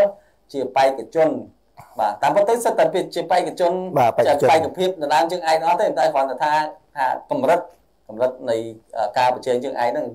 គឺ Nagavel ហៅថាក្រុមមួយដែលស្ថិតនៅលំដាប់ខ្ពស់ដូចថានៅអេស្ប៉ាញមាន Barcelona Real Madrid Ed Madrid អី Valencia Sevilla គឺ Nagavel គេនៅក្នុងកម្រិតហ្នឹងអញ្ចឹងលទ្ធផលក៏ទៅតាមនឹងដែរបាទអញ្ចឹងអគិសនីកម្ពុជាក៏ទៅតែចាញ់ប្រខាំងនេះស្វាយរៀង ចាញ់ដល់6ទល់1 Nagavel ចាញ់3ទល់1អញ្ចឹងចង់មិនចង់អាចមើលទៅបាទចំណូលឬក៏ការមានប្រៀបហ្នឹងទៅ Nagavel បន្តទៀតឬក៏មិនដែរព្រោះកន្លងមកលទ្ធផលនៅ Nagavel ជ័យជំនះចំណងនេះគឺប្រកបជាភាគរយច្រើនទៅ Nagavel ទៀតហើយហើយប្រហែលជាប្រកួតនេះគឺប្រហែលជា Naga គឺជាក្រុមដែលមានប្រៀបជាងអាចនឹងទទួលបាន3ពិន្ទុ ព្រោះបើបើយោងទៅតាមការលេងបើសិនជាឆ្លងកាត់ការប្រកួតដែលខ្ញុំបានមើលអគិសនីគាត់លេងណាពីប្រកួតបើសិនជាគាត់នៅរក្សាការលេងដោយដូចឥឡូវនេះគឺគាត់ព្យាយាមលេងតាមទម្រង់របស់របៀបលេងរបស់គាត់គឺគាត់ព្យាយាមហ៊ានលេងដូចក្រុមទូប៉ះក្រុមខ្លាំងក៏គាត់លេងដូចធម្មតាដែរអត់ខុសពីអគិសនីការពីប្រហែលឆ្នាំមុនដែលខ្ញុំជួបតែប៉ះក្រុមខ្លាំងគឺគាត់នៅសេតនៅក្រោមហើយនៅចាំដើម្បីការពាររកការវាយបកអញ្ចឹងវាចន្លោះប្រហោងក្នុងការរបូតគ្រាប់បាល់វាតិចដែរ ដោយសារតែគាត់បដោតបានន័យថាគូក្បាលរបស់គាត់ចូលទៅគឺ mentality គាត់គឺគិតថាបានន័យថាការពារមុនហើយបានវាយបកប៉ុន្តែឥឡូវនេះខ្ញុំឃើញការឆ្លងកាត់ការប្រកួតប្រមាណពីប្រកួតនេះគឺគីសនីគាត់ព្យាយាមរកឱកាសតបចូលទីបានច្រើនអញ្ចឹងគ្រប់ប្រកួតពីទោះតែគាត់ចាញ់ក៏គាត់រកឱកាសទៅទីដែរបានន័យថាគាត់បដូរទៅរបៀបប្រយុទ្ធច្រើនវិញហើយអញ្ចឹងខ្ញុំគិតថាបើគាត់នៅតែលេងបែបហ្នឹងហើយបើការរៀបចំគាត់អត់បានល្អអាចថាអាកាសជាបញ្ហាដែរអាហ្នឹង ព្រោះថាអាចនឹងចន្លោះប្រហោងនឹងការការពារវិញដែរអាចនឹងឲ្យ Naga ងាយក្នុងការរកគ្រាប់បាល់បាទអញ្ចឹងលទ្ធផលយើងអាចនិយាយបានថាជ័យជំនះមានភាគរយច្រើនទៅលើក្រុមចាស់របស់លោកគ្រូដែរបាទវើដែលលោកគ្រូធ្លាប់ដឹកនាំកាលឆ្នាំ2023បាទដូចដូចរវិបានលើកឡើងអញ្ចឹងមានថាវាតកតងទៅនឹងចរិតនៃការលេងផងពីព្រោះយើងឃើញក្រុមអគិសនីពីប្រកួតកន្លងមកគាត់អត់ខ្លាច បាទនៅពេលដែលគាត់អត់ខ្លាចហ្នឹងក្របក៏ច្រើនដែរបាទអញ្ចឹងដូចរបៀបបានលើកឡើងហើយបើសិនជានៅតែបន្តរក្សាលេងរបៀបហ្នឹងហើយប៉ះជាមួយក្រុមមួយដូចជា Naga ដែលគាត់ប្រកែនឹងការវាបកនេះផងអញ្ចឹងអាចនឹងមានរបូតក្របច្រើនអានឹងតាមចាក់ស្ដែងហើយដោយឡែកដូចជាមិនរំពឹងប្រមាណទេតកតងទៅនឹងអាគិសនីដែលអាចនឹងរកក្របបានវិញ តែបើសិនជាគិសនីរកក្របបានមុនអានឹងវាមានការប្រែប្រួលបន្តទៀតអញ្ចឹងខ្ញុំសង្ឃឹមថាការប្រកួតនេះមានក្របច្រើនហ្នឹងហើយថាហើយខ្ញុំក៏ចង់ចាប់មើលដែរគុណភាពនៃការតបចូលទីពីចម្ងាយរបស់គិសនីបានពីប្រកួតនេះគួរចាប់អារម្មណ៍គាត់សុទ្ធចូលតែពីក្រៅប្រអប់ឯងអញ្ចឹងចាំមើលប្រកួតវិណាកាគាត់អាចធ្វើបានទៀតតែអាចនឹងមិនងាយទេពីព្រោះការដែលធ្វើដដែលដដែលវាពិបាកបន្តិច ពីព្រោះណាកាវាជាក្រុមមួយដែលថាយូរទៅដាក់ខ្លាំងណាស់តាក់ទងនឹងរឿងបាទឥឡូវគាត់បានសង្កេតមើលពីវិគួរដែរអញ្ចឹងលោកគ្រូមានចិនណាគាត់នឹងមានវិធីទប់ស្កាត់នឹងចំណុចហ្នឹងបាទខ្ជាប់បន្តិចលោកគ្រូការហ៊ានលេងការប្រយុទ្ធខ្លាំងទៅបីជាប៉ះក្រុមលំដាប់ណា Leeds United លោក Marcelo Bielsa ដែលជាគ្រូកលរបស់ Leeds បាទគាត់ថាអតអតអតខ្វល់អញ្ចឹងវាល្អយ៉ាងណា ដែលវាអត់ប៉ះពាល់ដល់តារាងចំណាត់ថ្នាក់របស់គាត់អាចគិតថា សូនសូនធ្លាក់ទៅ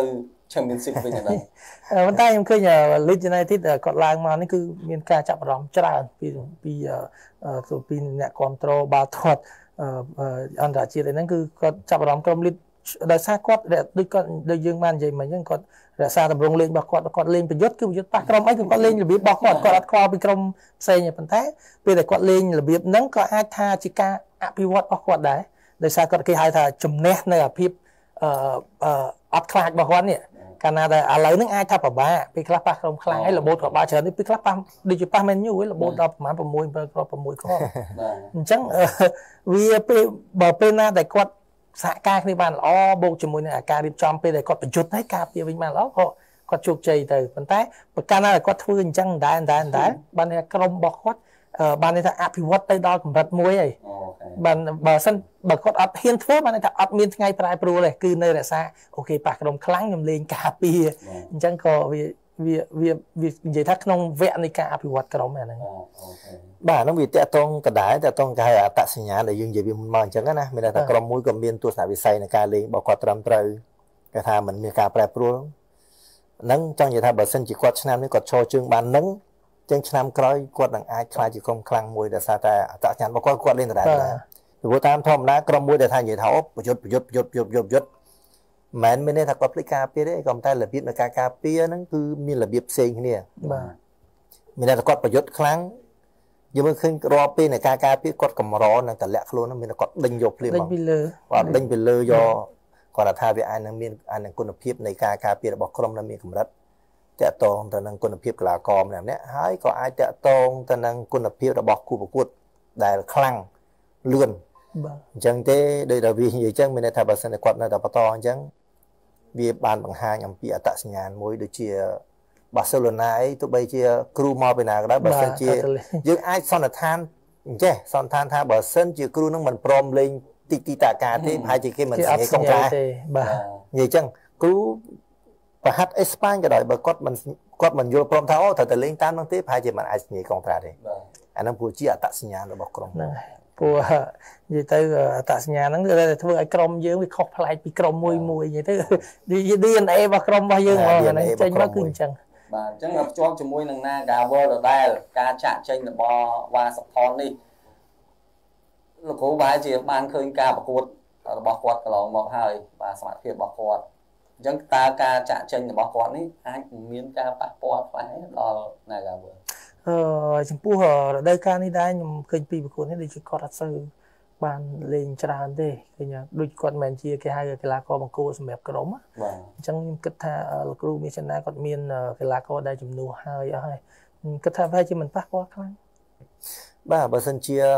ថៃកីឡាករបង្គោលយើងប្រពាក្យចេះណាថៃកីឡាករសំខាន់គេហៅ key player កីឡាករសំខាន់ក្នុងក្រុមហ្នឹងយើងមានការសោកស្ដាយក៏ប៉ុន្តែដូចយើងនិយាយថាគាត់គឺមិនមែនជាកីឡាករដែលជាជំរឿនរបស់អ្នកដំបូងទេហើយបាទក៏ជាការសោកស្ដាយមួយដែរពីព្រោះយើងត្រូវការកីឡាករដែលមានគុណភាពច្រើនដើម្បីជួយទៅក្នុងលីកអ្វីដែលសំខាន់គឺជួយខាប់បរិងកីឡាករខ្មែរយើងដែលកំពុងតែត្រៀមឆ្នាំ2023នេះបាទអញ្ចឹងជាការសោកស្ដាយមួយដែរមិនដឹងថាគាត់មានធុរៈ សំខាន់យ៉ាងណាដែលថាมันអាចនៅបានបាទអញ្ចឹងចូលទៅការប្រកួតថ្ងៃពុធវិញម្ដងរវាងអាស៊ីអឺរ៉ុប United និងព្រះខ័នរាជស្វាយរៀងបាទឃើញថាព្រះខ័នរាជស្វាយរៀងភាសាដដើមបានលទ្ធផលល្អបាទបើកើតពីឆ្នាំ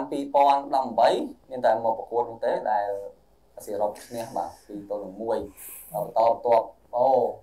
បាទបន្តបន្ទាប់មកក៏ ដូចយើងបានឃើញអញ្ចឹងបាទក៏មានលទ្ធផលល្អទៅខាងព្រះខ័នរាជស្វាយរៀងវិញអញ្ចឹងសម្រាប់រដូវកាលនេះបាទអាស៊ីអឺរ៉ុប United របូតគ្រាប់បាល់រៀងច្រើនដែរបាទប៉ះជាមួយគិរីវងសុកសែនជ័យប្រកួតទី1របូត4គ្រាប់ប្រកួតទី2ក៏របូត2គ្រាប់ហើយប្រកួតមុនរបូត2គ្រាប់ទៀតនេះជា8គ្រាប់ហើយហើយប្រខាននេះស្វាយរៀងនេះហូបគេច្រើនច្រើនបាទ អញ្ចឹងយ៉ាងណាដែរអាចនឹងអាចជាព្រៀបកាន់តែច្រើននៅច្រើនដដែលសម្រាប់ប្រខាននេះស្វាយរៀងគ្រូហ្នឹងហើយវាអាចថាគូនេះវាវាអាចនឹងងាយក្នុងការទុះទាយសម្រាប់ខ្ញុំព្រោះខ្ញុំទៅឆ្លងកាត់យើងមើលការប្រកួតរបស់គាត់ផ្សេងផ្សេងហើយចំណុចខ្វះខាតរបស់ក្រុមវាវារៀងច្រើនដែរក្នុងការប្រកបក្របបាល់របស់អាស៊ីអឺរ៉ុបហើយត្រូវនឹងស្វ័យរៀងឥឡូវនេះគឺពីប្រកួតរបស់គាត់គឺ គាត់ទទួលបានជោគជ័យបូកជាមួយនឹងគ្រាប់ក៏ច្រើនច្រើនដែរអញ្ចឹងបានន័យថាបើនិយាយពី team spirit កម្លាំងចិត្តនៃក្រុមគឺឥឡូវនេះពងពុះ control ហើយពងឲ្យឱកាសក្នុងការដណ្ដើមយកដើម្បីឈរលើកម្ពុជាតារាងដោយសារថា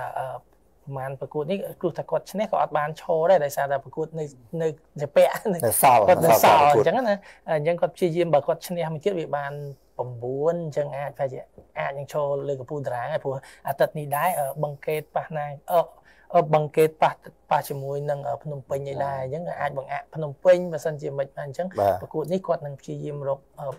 បន្ទុកឲ្យបានបាទចំពោះខ្ញុំយល់ដូចគ្នាពីព្រោះយើងមើលឃើញកម្រិតកម្រិតនៃការលេងអាស៊ីអឺរ៉ុបក៏គាត់មិនហាក់ដូចជាខ្សោយខ្លាំងការពារបាទខ្សោយខ្សោយមែនតើ អញ្ចឹងអាចថាដោយសារការការកីឡាករវាមានការផ្លាស់ប្ដូរច្រើនឬក៏ក្រុមមិនសូវបានហាត់ជាប់លាប់ដោយសារបញ្ហា Covid ផងផងដែលឡែកឃើញខាងស្វ័យរៀងឃើញមានកម្មវិធីជាប់លាប់ជាប់លាប់ទាំងទោះបីហាត់ដល់ផ្ទះក៏ត្រូវតែមានកម្មវិធីជាប់លាប់ហាត់ជុំគ្នាក៏បានជាប់លាប់ហើយយើងឃើញជាក់ស្ដែងការប្រកួតពីប្រកួតកន្លងមកហ្នឹងគឺគាត់ធ្វើបានល្អចឹងសង្ឃឹមថាការប្រកួតហ្នឹងគឺ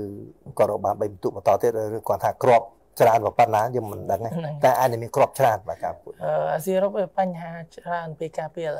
ដូចយើងខ្ញុំធ្លាប់លេងជាមួយប៊ីងហ្កាច្រើននិយាយបើប៊ីងហ្កាបើនិយាយទៅការពីគឺគាត់អត់សូវទេអញ្ចឹងហើយជាបានន័យថាបើពេលការពីស្ទឹងយើងនិយាយទៅអាស៊ីអឺរ៉ុបសឹងលេង10នាក់ហើយអានេះបទពិសោធន៍យើងធ្លាប់លេងជាមួយគ្នាយើងដឹងប្រភេទចរិតកីឡាករហើយដោយសារតែគាត់ឥឡូវរៀងចាស់ជាងមុនផងហើយបូកគុណយើងគុណភាពប្រយុទ្ធបើសិនជាឲ្យគាត់ការពីច្រើនក៏ គាត់ពិបាកនឹងការហៅខបាល់ដែរចំពោះ Bingard ជួយអាស៊ីឲ្យក្រុមដែរអញ្ចឹងជាទូទៅ Bingard សឹងតែពេលតែគាត់ទៅគ្រប់ក្រុមគេឲ្យគាត់លេងតាមទលាប់របស់គាត់គាត់លេងពេលមានបាល់គាត់លេងអញ្ចឹងទៅអត់បាល់គាត់សម្រាប់ដើម្បីយកបាល់ត្រៀមយកបាល់ប្រយុទ្ធវិញអញ្ចឹងហ្នឹងជាចំណុចខ្វះខាតដែរសម្រាប់កាលណាក្រុមយើងនៅកម្រិតយើង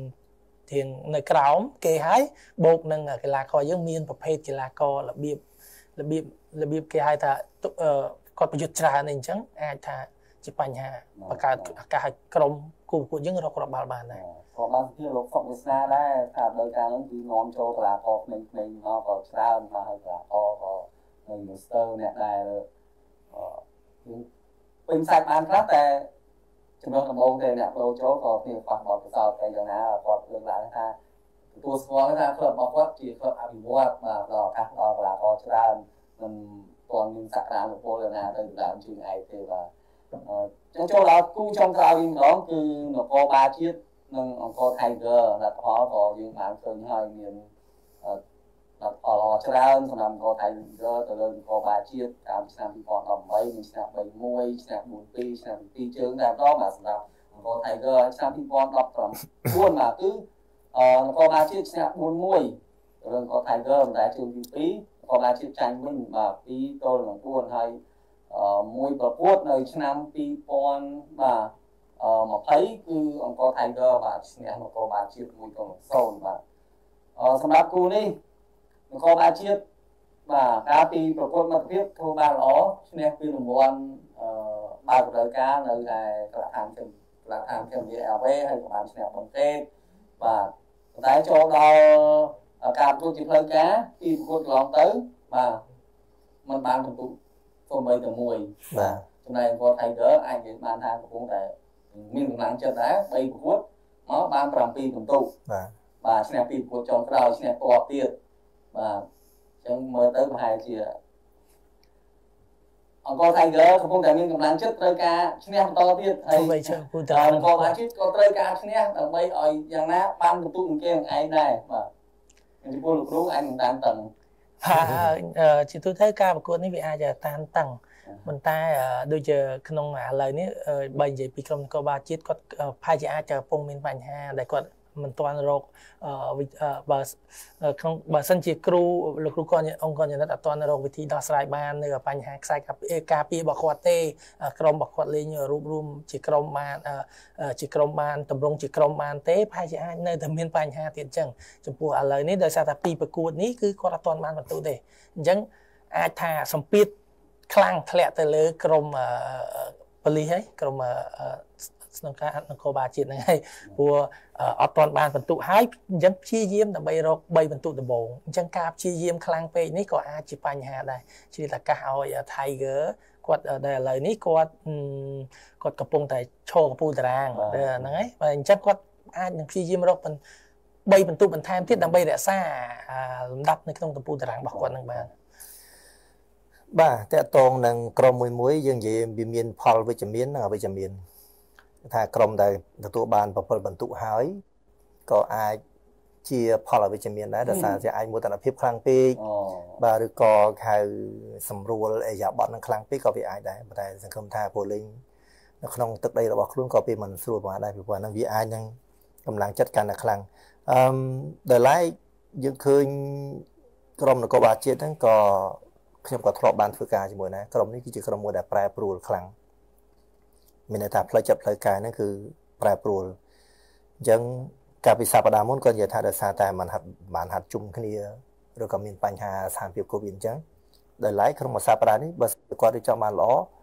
អ្វីអ្វីក៏អាចនឹងត្រឡប់មកវិញអញ្ចឹងពិបាកនឹងនិយាយដែរពីព្រោះមួយដែលបរាជ័យ2ហើយអញ្ចឹងលើកទី3អាចថានឹងត្រឡប់មកវិញ